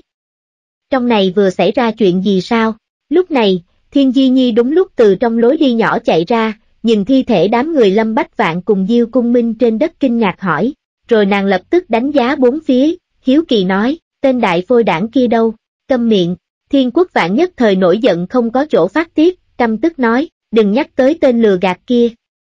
Di Nhi, lập tức truyền lệnh xuống, toàn lực lùng bắt từ khuyết, thế nhưng không được tổn hại tính mạng hắn, nhất định phải bắt sống. Cùng lúc đó, trên một mảnh đất ngoại thành phía đông, hư không vặn vẹo một trận, mấy bóng người vội vã từ bên trong bước ra, rơi trên mặt đất, chính là từ khuyết cùng mấy người lam tâm nguyệt, từ sào huyệt của kiến vương trốn ra được, từ khuyết liên tục bóp vỡ hàng ngàn tấm thần hành động tẩu phù, không hề keo kiệt, điên cuồng chạy trốn rời xa nơi này. Hắn không sợ hiên viên Nguyễn Dung, nhưng vị kiến vương thiên quốc vạn kia là cường giả địa tiên cảnh trung kỳ hàng thật đúng giá, ngay cả lệ thiên tuân đều không đánh lại vị kiến vương này, nếu mình còn không chạy xa một chút, khẳng định không thoát được một trận, thậm chí chút nữa còn bị vây ở đó mấy trăm năm. Huyết ca, chuyện này, đây là tình huống thế nào? Đạo lữ của ngươi sao lại nói ngươi là tên lừa đảo? Lam Hà vừa rơi xuống đất, ngơ ngác nhìn về phía từ khuyết hỏi. Hai, cái thứ gọi là tình cảm này, vốn là lừa gạt mà, làm sao có thể nói ta là tên lừa đảo đây, lẽ nào các ngươi xác định nàng không phải gạt ta sao? Thế gian này ai dám nói chưa từng lừa gạt người chứ, đúng không? Từ khuyết khoát tay áo một cái, bắt đầu giải thích linh tinh. Mấy người Lam Hà nhất thời trừng lớn hai mắt, cảm tình là có thể lừa gạt sao?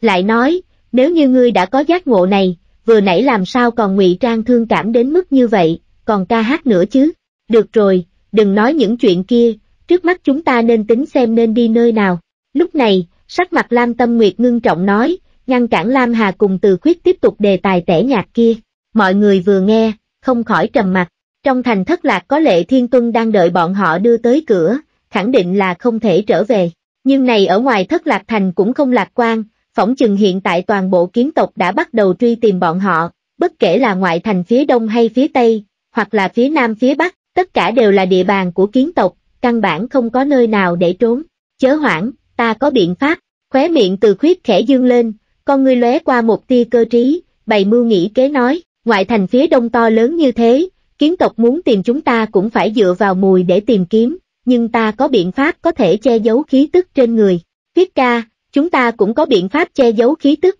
nhưng đây không phải kế hoạch lâu dài, số lượng kiến tộc nhiều như thế, dù chúng ta che giấu khí tức, nhiều lắm cũng chỉ có thể thoát được mấy ngày. Lam Hà một mặt khổ sở nói, ta biết, vì thế ngoại trừ che giấu khí tức, chúng ta còn cần cải trang, đồng thời không ngừng thay đổi phương vị, đợi bố trí hư không giao giới phù xong, chúng ta lập tức có thể khởi hành rời đi. Từ khuyết hờ hững cười nói, hắn ở tu tiên giới lăn lội lâu như vậy, xưa nay chưa từng sợ bị đuổi giết. Huống hồ tình thế trước mắt cũng không tính là quá ác liệt, kết quả xấu nhất chính là bị thiên quốc vạn đuổi theo, nhưng nếu như thật sự đến lúc đó, hắn còn có mảnh vỡ sinh tử quy tắc trên người, thêm vào luân hồi trưởng, cộng lại cũng có thể chống lại thiên quốc vạn mấy lần, sau đó sẽ nhân cơ hội trốn đi, không có gì ghê gớm. Cuối cùng, đoàn người cũng tiếp nhận biện pháp của từ khuyết, thay đổi một bộ quần áo, còn che giấu khí tức trên người, hòa vào thiên địa, sau đó bắt đầu ở khu vực ngoại thành phía đông đi lung tung không có mục đích. Dựa theo lời từ khuyết nói, đây là vì để tránh bị kiến tộc định vị, tên khoa học gọi là di vị, tên đầy đủ gọi tạc thiên bang cứu cực xà bì di vị. A, khuyết ca, chúng ta bị phát hiện, nhưng đoàn người vừa mới chạy được không xa, phía trước đột nhiên xuất hiện vài con kiến sinh cơ, vừa vặn lấp kín ở miệng sơn đạo, từng đôi con ngươi lớn đang âm trầm nhìn chầm chầm mấy người. Móa, không thể nào, chúng ta rõ ràng đã mặc y phục dạ hành rồi. Từ khuyết một mặt khiếp sợ, mấy người Lam Hà liền trợn trắng mắt, nhưng hiện tại là ban ngày mà. Ban ngày thì sao, ai quy định ban ngày không thể mặc y phục dạ hành. Lại nói, chỉ là vài con kiến sinh cơ mà thôi, có gì mà phải sợ, đi, làm thịt bọn chúng xong sẽ không có ai biết chúng ta ở đâu. Từ khuyết lập tức trừng mắt lên nói, những lúc như thế này, nói chuyện phải trừng mắt, có râu mép còn phải thổi râu mép, mới có thể tạo ra niềm tin, có uy tín, bằng không làm sao có thể phục chúng. Nhưng đám người Lam Hà đều tỏ vẻ không chịu nổi trò này, trong lòng cay đắng và không còn gì để nói, nhưng cũng may tình cảnh này vẫn nằm trong phạm vi chịu đựng, vài con kiến sinh cơ mà thôi, không có nghĩa là bọn họ đã bị bại lộ hành tung. Mặc kệ là trùng hợp gặp phải, hay thật sự bị phát hiện, chỉ cần giải quyết vài con kiến sinh cơ này, tất cả phiền phức đều sẽ biến mất. Vèo, lúc này, sau một tiếng vang nhỏ, bọn người Lam Tâm Nguyệt còn chưa kịp ra tay, từ khuyết đã hóa thành một bóng mờ sông về phía trước. Với thực lực của hắn, đối phó với vài con kiến sinh cơ bán tiên cảnh, quả thực dễ như trở bàn tay. Trong ánh mắt ngạc nhiên của đám người Lam Hà, từ khuyết nhảy lên thật cao, trên không trung một hóa thành hai, hai tay đều dơ lên cao một hắc côn, biến ảo ra một vô số côn ảnh, phiêu giật mà tiêu sái đập về phía vài con kiến sinh cơ. ầm, ầm, ầm, liên tiếp mấy tiếng vang trầm, vài con kiến sinh cơ nhanh chóng ngã xuống đất, trực tiếp hôn mê bất tỉnh. Từ khuyết vung tay lên, móc ra một túi linh thú, song chỉ ngưng lại, quét qua, vạch một cái, vài con kiến sinh cơ đột nhiên bay lên, rồi bị hút vào trong túi linh thú. Ồ, khuyết ca, không phải ngươi muốn giết bọn chúng diệt khẩu sao? Lam Hà ngạc nhiên hỏi, ngươi biết cộng lông, giết bọn chúng nhất định sẽ để lại một ít manh mối, đến lúc đó không phải là bị kiến tộc biết chúng ta ở ngoại thành phía đông ư. Từ khuyết cười hiếp mắt nói, đám người Lam Hà vừa nghe, lúc này mới bừng tỉnh gật đầu, cảm thấy quả thật là có chút đạo lý, đồng thời cũng có một cái nhìn mới đối với từ khuyết. Hóa ra khuyết ca không chỉ là một vị tên lừa đảo, còn là một người có kinh nghiệm trong chuyện bị đuổi giết, bằng không làm sao có thể có cảnh giác cùng kinh nghiệm phong phú như thế. Nhưng từ khuyết bắt vài con kiến sinh cơ này, hoàn toàn chỉ là nhất thời hứng thú mà thôi. Kiến sinh cơ chỉ có thể sinh tồn ở địa phương có sinh tử quy tắc, cùng gạo sinh cơ là cộng sinh tồn tại, nhưng gạo sinh cơ trong thiên địa, cũng có thể trồng được ở sào huyệt của kiến vương. Từ khuyết đã từng thấy ruộng đất trồng gạo sinh cơ của kiến tộc, nên hiểu rõ điểm này. Vì thế hắn biết rõ, kỳ thực kiến tộc trời sinh am hiểu trồng gạo sinh cơ, nhưng hắn chẳng mấy chốc sẽ rời khỏi địa phương này, vì bảo đảm sau này có thể tiếp tục có được gạo sinh cơ, hắn cảm thấy cần thiết phải mang theo vài con kiến sinh cơ ra ngoài, đương nhiên, dù không dùng được, cũng còn có thể đem ra nấu nướng, luộc lên làm món ăn cho hắc si ăn. Nghĩ đi nghĩ lại, ánh mắt từ khuyết đột nhiên có chút ấm áp, cảm thấy hơi nhớ hắc si và đoạn cửu đức, nhớ tới Khương Hồng Nhan và Liễu Tĩnh Ngưng, hắn rất muốn đi tìm các nàng. Đi, lần này không còn người nào có thể ngăn cản chúng ta rời đi nữa, ai dám ngăn cản đường của ta, ta sẽ giết kẻ đó, đến bao nhiêu, ta giết bấy nhiêu. Đột nhiên, trên mặt từ khuyết xuất hiện sát khí nói, trong lúc vô tình cả người tràn ngập ra một luồng sát khí mạnh mẽ. Đám người Lam Hà trong nháy mắt sợ hết hồn, nhưng không đợi bọn họ kịp phản ứng, từ khuyết đã lên đường, lặng yên không tiếng động lẻn về phía trước. Mấy người không khỏi nhìn lẫn nhau một chút, cuối cùng không lên tiếng mà vội vàng đi theo. Bọn họ không biết đã xảy ra chuyện gì, vì sao từ khuyết lại đột nhiên như biến thành người khác, nhưng bọn họ rõ ràng, lần này khuyết ca là thật lòng, sẽ không xảy ra sai lầm gì nữa. Có thể là số may, cũng có thể là đúng như lời từ khuyết nói, hắn bắt đầu nghiêm túc, liên tiếp hơn một tháng, trồng rã hơn 50 ngày, đoàn người từ khuyết ở ngoại thành phía đông vô cùng thuận lợi, không ngừng di chuyển khắp nơi, đều không gặp phải kiến sinh cơ mạnh mẽ nào, thậm chí ngay cả một con kiến chúa cũng chưa từng gặp. Đương nhiên, gặp phải vài con kiến sinh cơ tạo thành tiểu đội tuần tra như lần thứ như nhất, bọn họ cũng gặp phải nhiều lần, mới đầu từ khuyết đều không chút do dự xông lên phía trước, dùng huyền trọng xích giết bọn chúng thành cặn, cuối cùng còn dùng hỏa diễm đốt thành toàn tro. Nhưng sau đó, từ khuyết lại giống như khôi phục lại dáng vẻ ban đầu, bình tĩnh mà ôn hòa, không tiếp tục ra tay tàn nhẫn, ngược lại giống như lần thứ nhất, tiếp tục đánh ngất kiến sinh cơ, bắt vào túi linh thú, trồng rã hơn một tháng thời gian, từ khuyết đã bắt được trên trăm con kiến sinh cơ, thu hoạch không nhỏ. Nhưng từ khi đám người Lam Hà không gọi từ khuyết là tỷ phu nữa, hơn một tháng thời gian này, quan hệ giữa bọn họ dường như cũng dần dần phát sinh biến hóa, đã không còn thân cận như trước đây, giống như giữa họ có một tầng ngăn cách. Từ khuyết vốn không dễ dàng tin tưởng người khác, hắn đã trải qua vô số chuyện, đối với bất cứ chuyện gì cũng có nghi ngờ cùng cảnh giác. Đám người Lam Hà trước đó đã nghe Lam Tâm Nguyệt nói tất cả với bọn họ, hiểu rõ họ cùng từ khuyết trước sau không phải người trên cùng một con đường, con đường của từ khuyết nhất định tràn ngập nguy hiểm, nhưng hắn cũng sẽ càng mạnh mẽ hơn, mà sau khi bọn họ rời khỏi nơi này, cũng chỉ muốn trở về thư viện, an ổn sinh hoạt, vì thế trong mắt bọn họ, rời khỏi địa phương này, có khả năng từ đây sẽ không gặp lại từ khuyết nữa, nên trong tình huống này, mấy người dĩ nhiên đã từ từ sinh ra một tầng ngăn cách, không hề nói nhiều giống như trước kia, chỉ là chút ngăn cách này, đối với bọn họ cũng không có ảnh hưởng gì, từ khuyết cũng không để ý, tiếp tục đi khắp mọi nơi, vừa quan tâm đến tình hình tiểu kim thân bên kia, hư không giao giới phù chẳng mấy chốc sẽ bố trí xong, hắn lựa chọn địa phương cũng rất bí mật,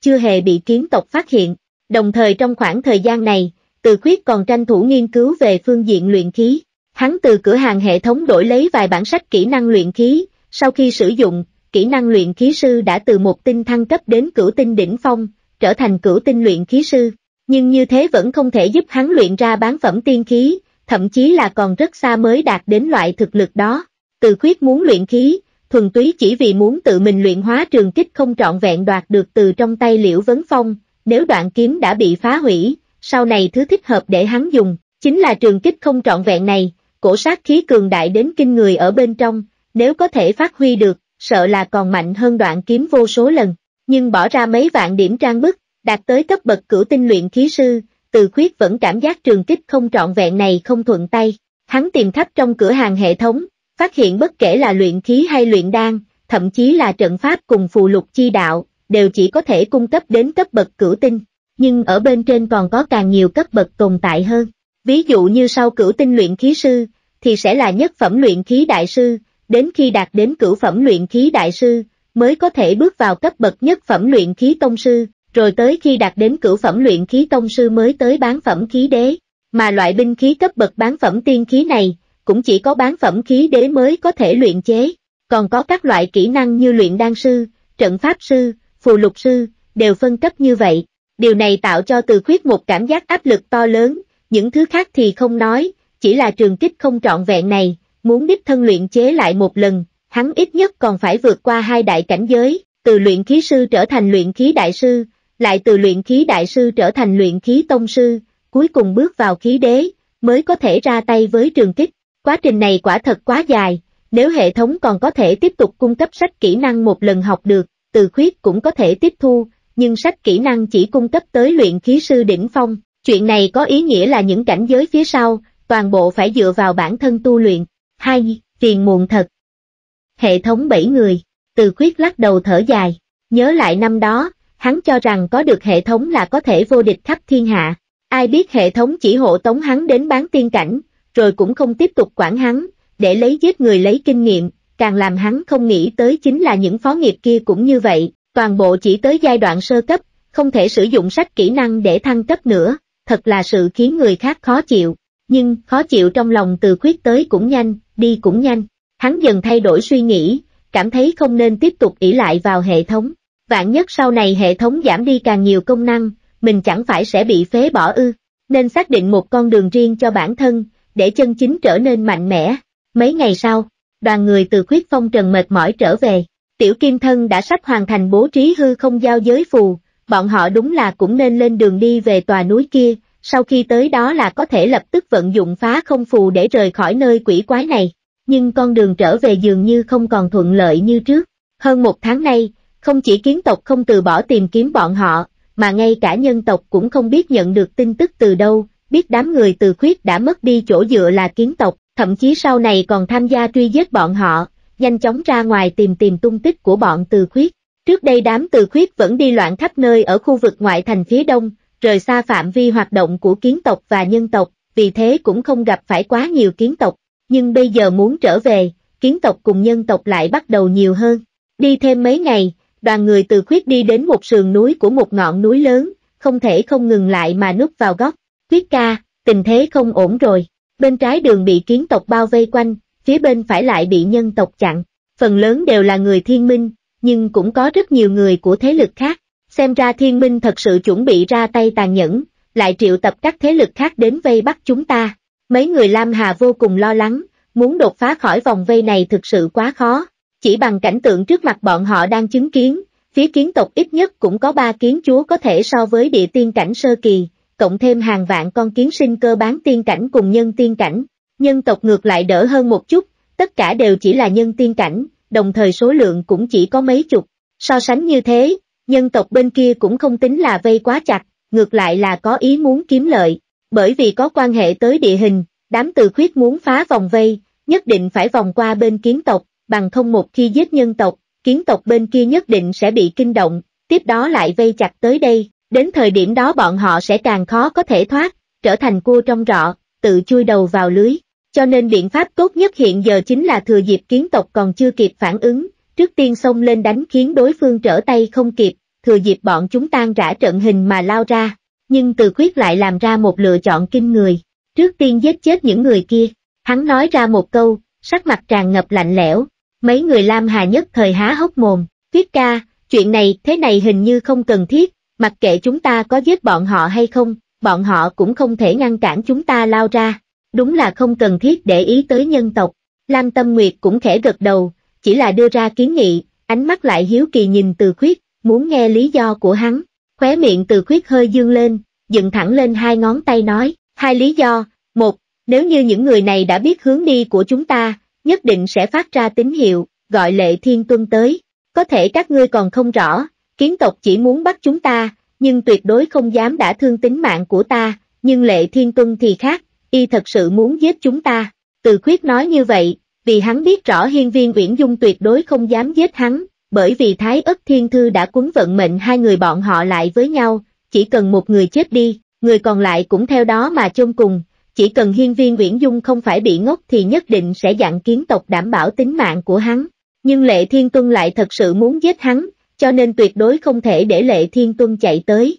Mấy người Lam Tâm Nguyệt nghe xong cũng gật đầu, so với bị Lệ Thiên Tuân truy sát, đối mặt với vòng vây của đám kiến tộc kia, ít nhất hy vọng thoát ra sẽ lớn hơn nhiều. Khuyết ca, vậy lý do thứ hai, lúc này, Lam Hà mở miệng hỏi, lý do thứ hai, trên mặt từ khuyết lộ ra một nụ cười lạnh lùng, thứ hai không vì cái gì khác, thuần túy là ta nhìn bọn họ chướng mắt, nên muốn giết bọn họ, chỉ đơn giản như vậy. Nói xong, thân hình từ khuyết đột nhiên loáng một cái, bỗng bay lên trời, giống như một tia sáng, đằng đằng sát khí nhằm về phía mười mấy tên nhân tộc, giống như lời hắn nói, hắn muốn giết những người này, ngoại trừ không muốn dẫn lệ thiên tuân tới, thuần túy là nhìn bọn họ chướng mắt, những người này mơ ước bảo vật trên người hắn đã lâu, từ khi tiêu diệt liễu hóa long ở kiếm lâu cát, từ khuyết cũng đã nhìn ra, giữa người và người đã không còn suy nghĩ đồng tộc thì giúp đỡ lẫn nhau, trái lại muốn chiếm tiện nghi trên người hắn. Lâm Bách Vạn là thế, Diêu Cung Minh cũng vậy, những này người đều là như thế. Từ khuyết vốn không muốn gây ra quá nhiều phiền phức ở chỗ này,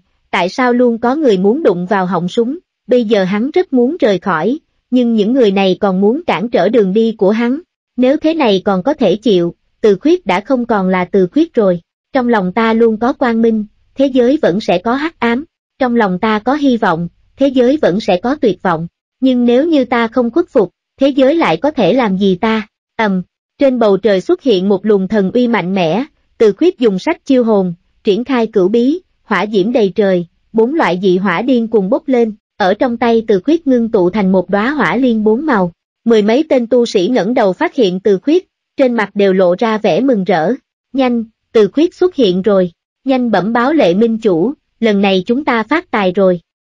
Ha ha, câu thứ nhất mà bọn họ mở miệng chính là như vậy. Ngay sau đó một khắc, khi bọn họ nhìn rõ hỏa liên trong tay từ khuyết, sắc mặt đột nhiên kịch biến, tràn ngập sợ hãi, hỏa. Hỏa liên, đó là hỏa liên đã giết liễu hóa long, không. Chờ chút, từ đạo hữu, chúng ta chỉ đi ngang qua, không có ác ý. Mười mấy tên tu sĩ hoảng sợ tại chỗ, vội vàng la lớn, điên cuồng lui lại phía sau. Nhưng lần này từ khuyết đã quyết, căn bản không cho mấy chục người này chút thời gian phản ứng, hỏa liên bốn màu trong tay mới vừa thành hình, đã bị hắn vứt ra trong nháy mắt, vèo, hỏa liên dung hợp bốn loại dị hỏa, xuyên qua hư không, trong nháy mắt đánh về mặt đất, tuy nó không khủng bố giống như hỏa liên lục sắc, nhưng cũng đủ khiến đám tu sĩ nhân tiên cảnh này sợ đến vỡ mật. Lục sắc hỏa liên bọn họ không đỡ được, tứ sắc hỏa liên này bọn họ vẫn không đỡ được. ầm, một tiếng đổ mạnh đinh tai nhức óc, hỏa liên bốn màu hoàn toàn nổ tung, hỏa diễm tràn ngập lan thành biển lửa, trong nháy mắt bao phủ mười mấy tên tu sĩ này lại. Nếu như có cường giả nhân tiên cảnh hậu kỳ, có lẽ còn có thể tránh được một kiếp, nhưng đám người kia chỉ là nhân tiên cảnh sơ kỳ và trung kỳ, căn bản không hề có sức chống đỡ, trong chớp mắt đã bị dị hỏa đốt thành than, khí tuyệt bỏ mình. Cuối cùng, bọn họ chỉ là một đám tu sĩ ngụy nhân tiên cảnh luôn tồn tại thiếu hụt, kém xa nhân tiên cảnh chân chính, mà từ khuyết vận dụng pháp quyết có uy lực rất lớn, căn bản không đỡ nổi một đòn. Trong nháy mắt, từ khuyết đã tốc chiến tốc thắng giải quyết trận chiến đấu này. Đám người Lam Hà cùng Lam Tâm Nguyệt nhìn cuộc chiến này mà trợn mắt ngoác mồm, cực kỳ kinh hãi. Cho dù trước đây bọn họ đã từng chứng kiến thực lực của từ khuyết, nhưng lúc này nhìn tình cảnh này, tinh thần vẫn rung mạnh, thực sự chấn động. Một tên tu sĩ bán tiên cảnh, làm sao lại có thực lực khủng bố như vậy? Vèo, cùng lúc đó, kiến tộc canh giữ ở một bên khác cũng bị động tĩnh bên này hấp dẫn, hàng ngàn hàng vạn con chen chúc chạy đến, còn có ba kiến chúa ở phía sau tọa trấn, khí thế phi phàm. Nhưng từ khuyết mang theo sát khí đầy trời bay lên, song chưởng vạch một cái, sử dụng luân hồi chưởng, một tay sinh khí một tay tử khí, hung hăng chưởng khống quy tắc sinh tử ở khu vực này. Xèo, sau một khắc, một tia sáng từ trên người hắn lướt ra, hóa thành bia đá trôi nổi trên đầu hắn, chính là Thái ất thiên thư. Thái ất thiên thư vừa ra, tạo ra một áp bức vô hình đối với kiến tộc, trong huyết mạch của chúng đã tồn tại loại sợ hãi bẩm sinh đối với Thái ất thiên thư. Trong khoảng thời gian ngắn, tất cả kiến tộc đều bị kinh sợ, càng dồn dập ngừng lại. Cùng lúc đó, từ khuyết lạnh lùng nhìn bọn họ, ánh mắt sắc bén mà lạnh lẽo, với tư thế một người giữ quan vạn người phá, lớn tiếng quát, lão tử có thái ất thiên thư trong tay, tất cả đều cút ngay cho ta.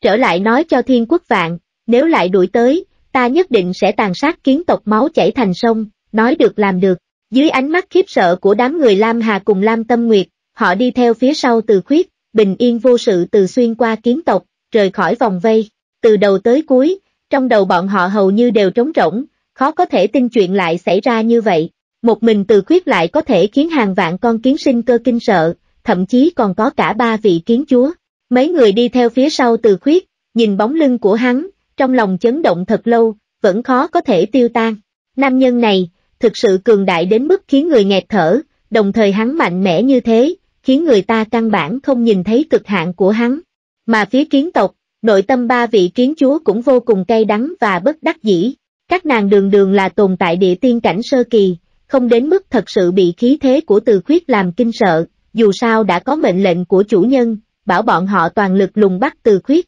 Nhưng vấn đề là từ khuyết lại lấy ra thái ất thiên thư khiến tất cả bọn họ kinh sợ, bất kể thân thể hay thần hồn đều bị nghiền ép hoàn toàn. Qua nhiều năm như vậy, trong huyết mạch bọn họ luôn có một lòng trung thành, không phải hướng về hiên viên uyển dung, mà là hướng về thái ất thiên thư. Cũng chỉ có thái ất thiên thư mới có thể biến đổi toàn bộ huyết mạch bộ tộc họ, tạo thành như vậy. Vì thế khi từ khuyết vận dụng thái ất thiên thư, lời hắn nói chính là mệnh lệnh, phân lượng không kém hiên viên uyển dung chút nào, để ba vị kiến chúa này cùng với hơn vạn kiến sinh cơ không dám dễ dàng lộn xộn, ý chí của bọn họ, không thắng được sự thần phục của thân thể cùng huyết thống đối với thái ất thiên thư, cũng chỉ có thể trơ mắt bỏ mặt từ khuyết rời đi. Mà liên tiếp mấy ngày này, đám người từ khuyết không bị bao vây một lần. Đa số tình huống đều không khác lần đầu tiên bao nhiêu, đều là số lượng kiến tộc vô cùng nhiều tuần tra, mười mấy tên nhân tộc trốn ở một bên lặng lẽ quan sát. Bọn họ tự biết không phải đối thủ của từ khuyết, vì thế tiếp cận kiến tộc, chỉ cần có kiến tộc thay bọn họ chống đỡ từ khuyết,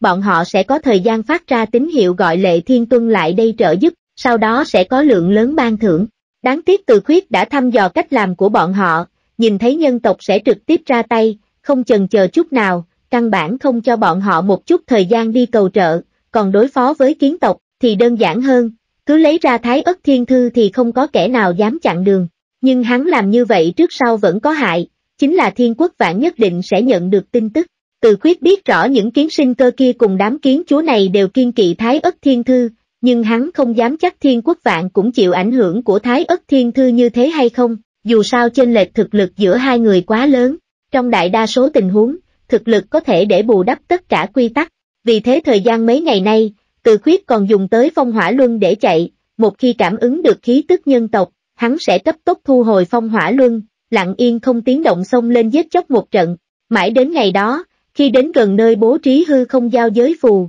đám người từ khuyết cuối cùng cũng bị ngăn lại. Hắn gặp phải Thiên Di Nhi, chính là vị kiến chúa đáng yêu ngây thơ lúc trước, là con gái Thiên Quốc Vạn. Thiên Di Nhi một mình đến đây, gặp phải từ khuyết cũng rất bất ngờ, kinh ngạc nói, đại phôi đảng, các ngươi sao vẫn còn ở đây, làm sao? Ngươi cũng tới bắt ta sao? Từ khuyết cười nhẹ, cũng không để ý, bắt ngươi cái quỷ gì, ngươi không bắt ta thì ta đã phải cảm ơn trời đất rồi. Thiên Di Nhi trợn mắt, không nói gì nói, các ngươi đi nhầm phương hướng rồi à. Phụ vương ta mang theo một đống nhân mã, đang ở phía trước đây, các ngươi đi tiếp nữa, nhất định sẽ gặp phải bọn họ. Yêu, vậy ngươi đang làm gì vậy, tìm ta mật báo sao? Từ khuyết nhất thời vui vẻ. Việc thiên quốc vạn dẫn người bắt hắn, hắn đã sớm có dự liệu, dù sao mấy ngày nay gặp phải nhiều kiến chúa như vậy, khẳng định đều sẽ trở lại mật báo, kết hợp với vị trí mấy lần hắn xuất hiện, rất dễ dàng đoán được phương hướng hắn tiến lên. Phi, ta đi ra ngoài tìm nhị tỷ ta, nàng nói giúp ta tìm được một tòa sơn mạch mới, vì thế ta trở về tổ cũ lấy mấy thứ, chuẩn bị chuyển tới, ai ngờ mới ra đến đây đã gặp phải ngươi, thực sự là xui xẻo. Thiên Di Nhi chu cái miệng nhỏ nhắn nói, được rồi được rồi, thế ngươi đi đi, đừng chặn trước mặt ta. Từ khuyết cười cười, nhường đường cho Thiên Di Nhi. Thiên Di Nhi thấy thế thì tỏ vẻ khiếp sợ, khó có thể tin nói, các ngươi vẫn tiếp tục đi sao? Ta nói thật đấy, phụ vương ta thật sự ở phía trước mà, không sao cả, bọn họ đã đến rồi. Từ khuyết cười nói, ánh mắt xuyên qua Thiên Di Nhi, nhìn về phía không trung. Thiên quốc vạn dẫn theo vô số kiến chúa và kiến sinh cơ, muốn vây quanh khu vực này đến mức nước chảy không lọt, dường như là y không tiếc tất cả để trói từ khuyết trở lại. Đồng thời hành động này của bọn họ, cũng đã kinh động đến nhân tộc. Khi từ khuyết nhìn thấy thiên quốc vạn cùng với kiến tộc thì đồng thời hắn cũng cảm ứng được khí tức lệ thiên tuân cùng với đông đảo tu sĩ dừng lại ở cách đó không xa, nếu không phải do kiên kỵ thiên quốc vạn, sợ là lúc này bọn họ đã giết đến rồi. a xem ra trận chiến cuối cùng này không tránh khỏi rồi. Từ khuyết khẽ mỉm cười, lắc lắc đầu. Nếu như không bị ép buộc, hắn vô cùng không muốn trải qua những trận chiến đấu gian nan này, tuy rằng sau mỗi một lần như thế, kinh nghiệm chiến đấu của hắn sẽ được tăng trưởng, nhưng thế thì lại làm sao đây, dù sao nguy hiểm cũng quá lớn, hắn không phải một người thích theo đuổi cực hạn, đi trên dây thép lâu đúng là sẽ kinh nghiệm tăng lên, nhưng nếu sơ ý một chút thì sẽ rơi xuống khiến thịt nát xương tan. Từ khuyết không muốn đi theo con đường kia, hắn chỉ muốn dễ dàng trở nên mạnh mẽ, và dễ dàng nghiền ép kẻ địch. Nhưng tình huống hiện tại hiển nhiên là không có một chút quan hệ nào đến hai từ dễ dàng rồi. Trận chiến này, nhất định sẽ gian nan hơn so với trận chiến với Liễu Hóa Long, thậm chí lần này không phải một lục sắc hỏa liên là có thể dễ dàng giải quyết được. Từ khuyết, cùng bản vương quay về, tuy ngươi có thái ất thiên thư, nhưng mệnh lệnh của chủ thượng mới là mệnh lệnh mà chúng ta thực sự tuân theo. Thiên quốc vạn nhìn từ khuyết, mở miệng quát, lúc này y đã không còn phẫn nộ giống như lúc trước nữa, dù sao thời gian hai tháng đã qua, y cũng bình tĩnh lại, lửa giận đã sớm chậm rãi tiêu tan. Y đã nghĩ thông suốt một điểm, chủ thượng vừa không muốn giết từ khuyết, vừa không tính toán sai lầm của kiến tộc, khả năng duy nhất chính là thân phận từ khuyết cũng không đơn giản, thậm chí cũng không phải tên lừa gạt gì, mà là thực sự là người thiên tuyển. Nhưng giữa hắn cùng hiên viên Uyển Dung có hiểu lầm gì đó mới sẽ thành ra như vậy. Vì thế ấn theo quy củ thì từ khuyết cũng có thể coi như là một nửa chủ nhân của kiến tộc bọn họ. Quốc vạn, các ngươi vẫn trở về đi. Nói thật, ta cũng không muốn giết các ngươi, nhưng nếu như thật muốn đối nghịch với ta, ta không ngại tàn sát tất cả các ngươi, tin tưởng ta, ta thật sự có thực lực này. Khóe miệng từ khuyết mang theo ý cười nhàn nhạt, Vân Đạm Phong kinh nói, thiên quốc vạn khẽ run rẩy, trong lòng không khỏi có chút sợ hãi. Nếu như hiện tại từ khuyết phẫn nộ giận dữ thì y sẽ không sợ, nhưng hiện tại, từ khuyết lại hờ hững tự tin như vậy, thái độ thông dong cùng sát khí mạnh mẽ trên người kia, tạo nên mâu thuẫn rất mãnh liệt, khiến cho người khác không khỏi cảm thấy bất an. Thiên quốc vạn không khỏi trầm mặt, trực giác nói cho y biết từ khuyết thật sự có khả năng tàn sát hết kiến tộc, cho dù ý nghĩ này rất hoang đường, nhưng y vẫn tin, không tại sao cả, chỉ bởi vì lúc này từ khuyết đang cầm một cây đao, gác trên cổ thiên di nhi, tiên sư nó, ngươi thả con gái ta ra, thiên quốc vạn căm tức gầm lên, thiên di nhi là con gái y thương yêu nhất, quan trọng hơn so với tất cả, nếu như từ khuyết thật sự lấy thiên di nhi uy hiếp y, y nghĩ mình có lẽ cũng không biết phải lựa chọn như thế nào, thả nàng ra cũng không thành vấn đề, trước tiên lấy đầu lệ thiên tuân đến trao đổi, từ khuyết cười nói, ánh mắt trực tiếp quét về một nơi cách đó không xa, hắn có thể nhận ra được khí tức đám người lệ thiên tuân, thiên quốc vạn khẳng định cũng biết, ánh mắt này của hắn chính là đang nói cho thiên quốc vạn, không lấy đầu lệ thiên tuân lại đây, hắn sẽ không thể thả thiên di nhi ra, được, ta hiện tại liền đi, ngươi chớ làm tổn thương nàng, thiên quốc vạn cũng không chần chờ, lúc này xoay người nhằm phía lệ thiên tuân, từ khuyết không chỉ có thái ất thiên thư, còn có cả thiên di nhi trong tay, tình huống này nhìn thế nào cũng không thể cứu vãn, vì thế cùng với việc lãng phí thời gian để lệ thiên tuân đào tẩu, còn không bằng tốc chiến tốc thắng, ầm, trong nháy mắt khi thiên quốc vạn phóng lên trời, bốn phía hư không nổ vang, lệ thiên tuân bên kia cũng nhanh chóng lao ra từ bên trong sơn mạch, vô cùng căm tức và uất ức, trực tiếp bỏ lại đám tu sĩ nhân tộc, lập tức chạy trốn, lấy thực lực của y, tuyệt đối không thể chiến thắng thiên quốc vạn, hơn nữa lần này thiên quốc vạn kia sát tâm đã quyết, không thể không giết y, điều này khiến y cảm giác cực kỳ uất ức, mà tất cả mọi chuyện này, đều chỉ vì một câu nói của từ khuyết mà thôi. Lệ Thiên Tuân càng nghĩ càng giận, vừa chạy trốn, vừa không nhịn được mà phẫn nộ rít gào lên, từ khuyết, ngươi chờ đó cho ta. Nếu thấy hay thì nhớ like và đăng ký kênh để ủng hộ mình nha.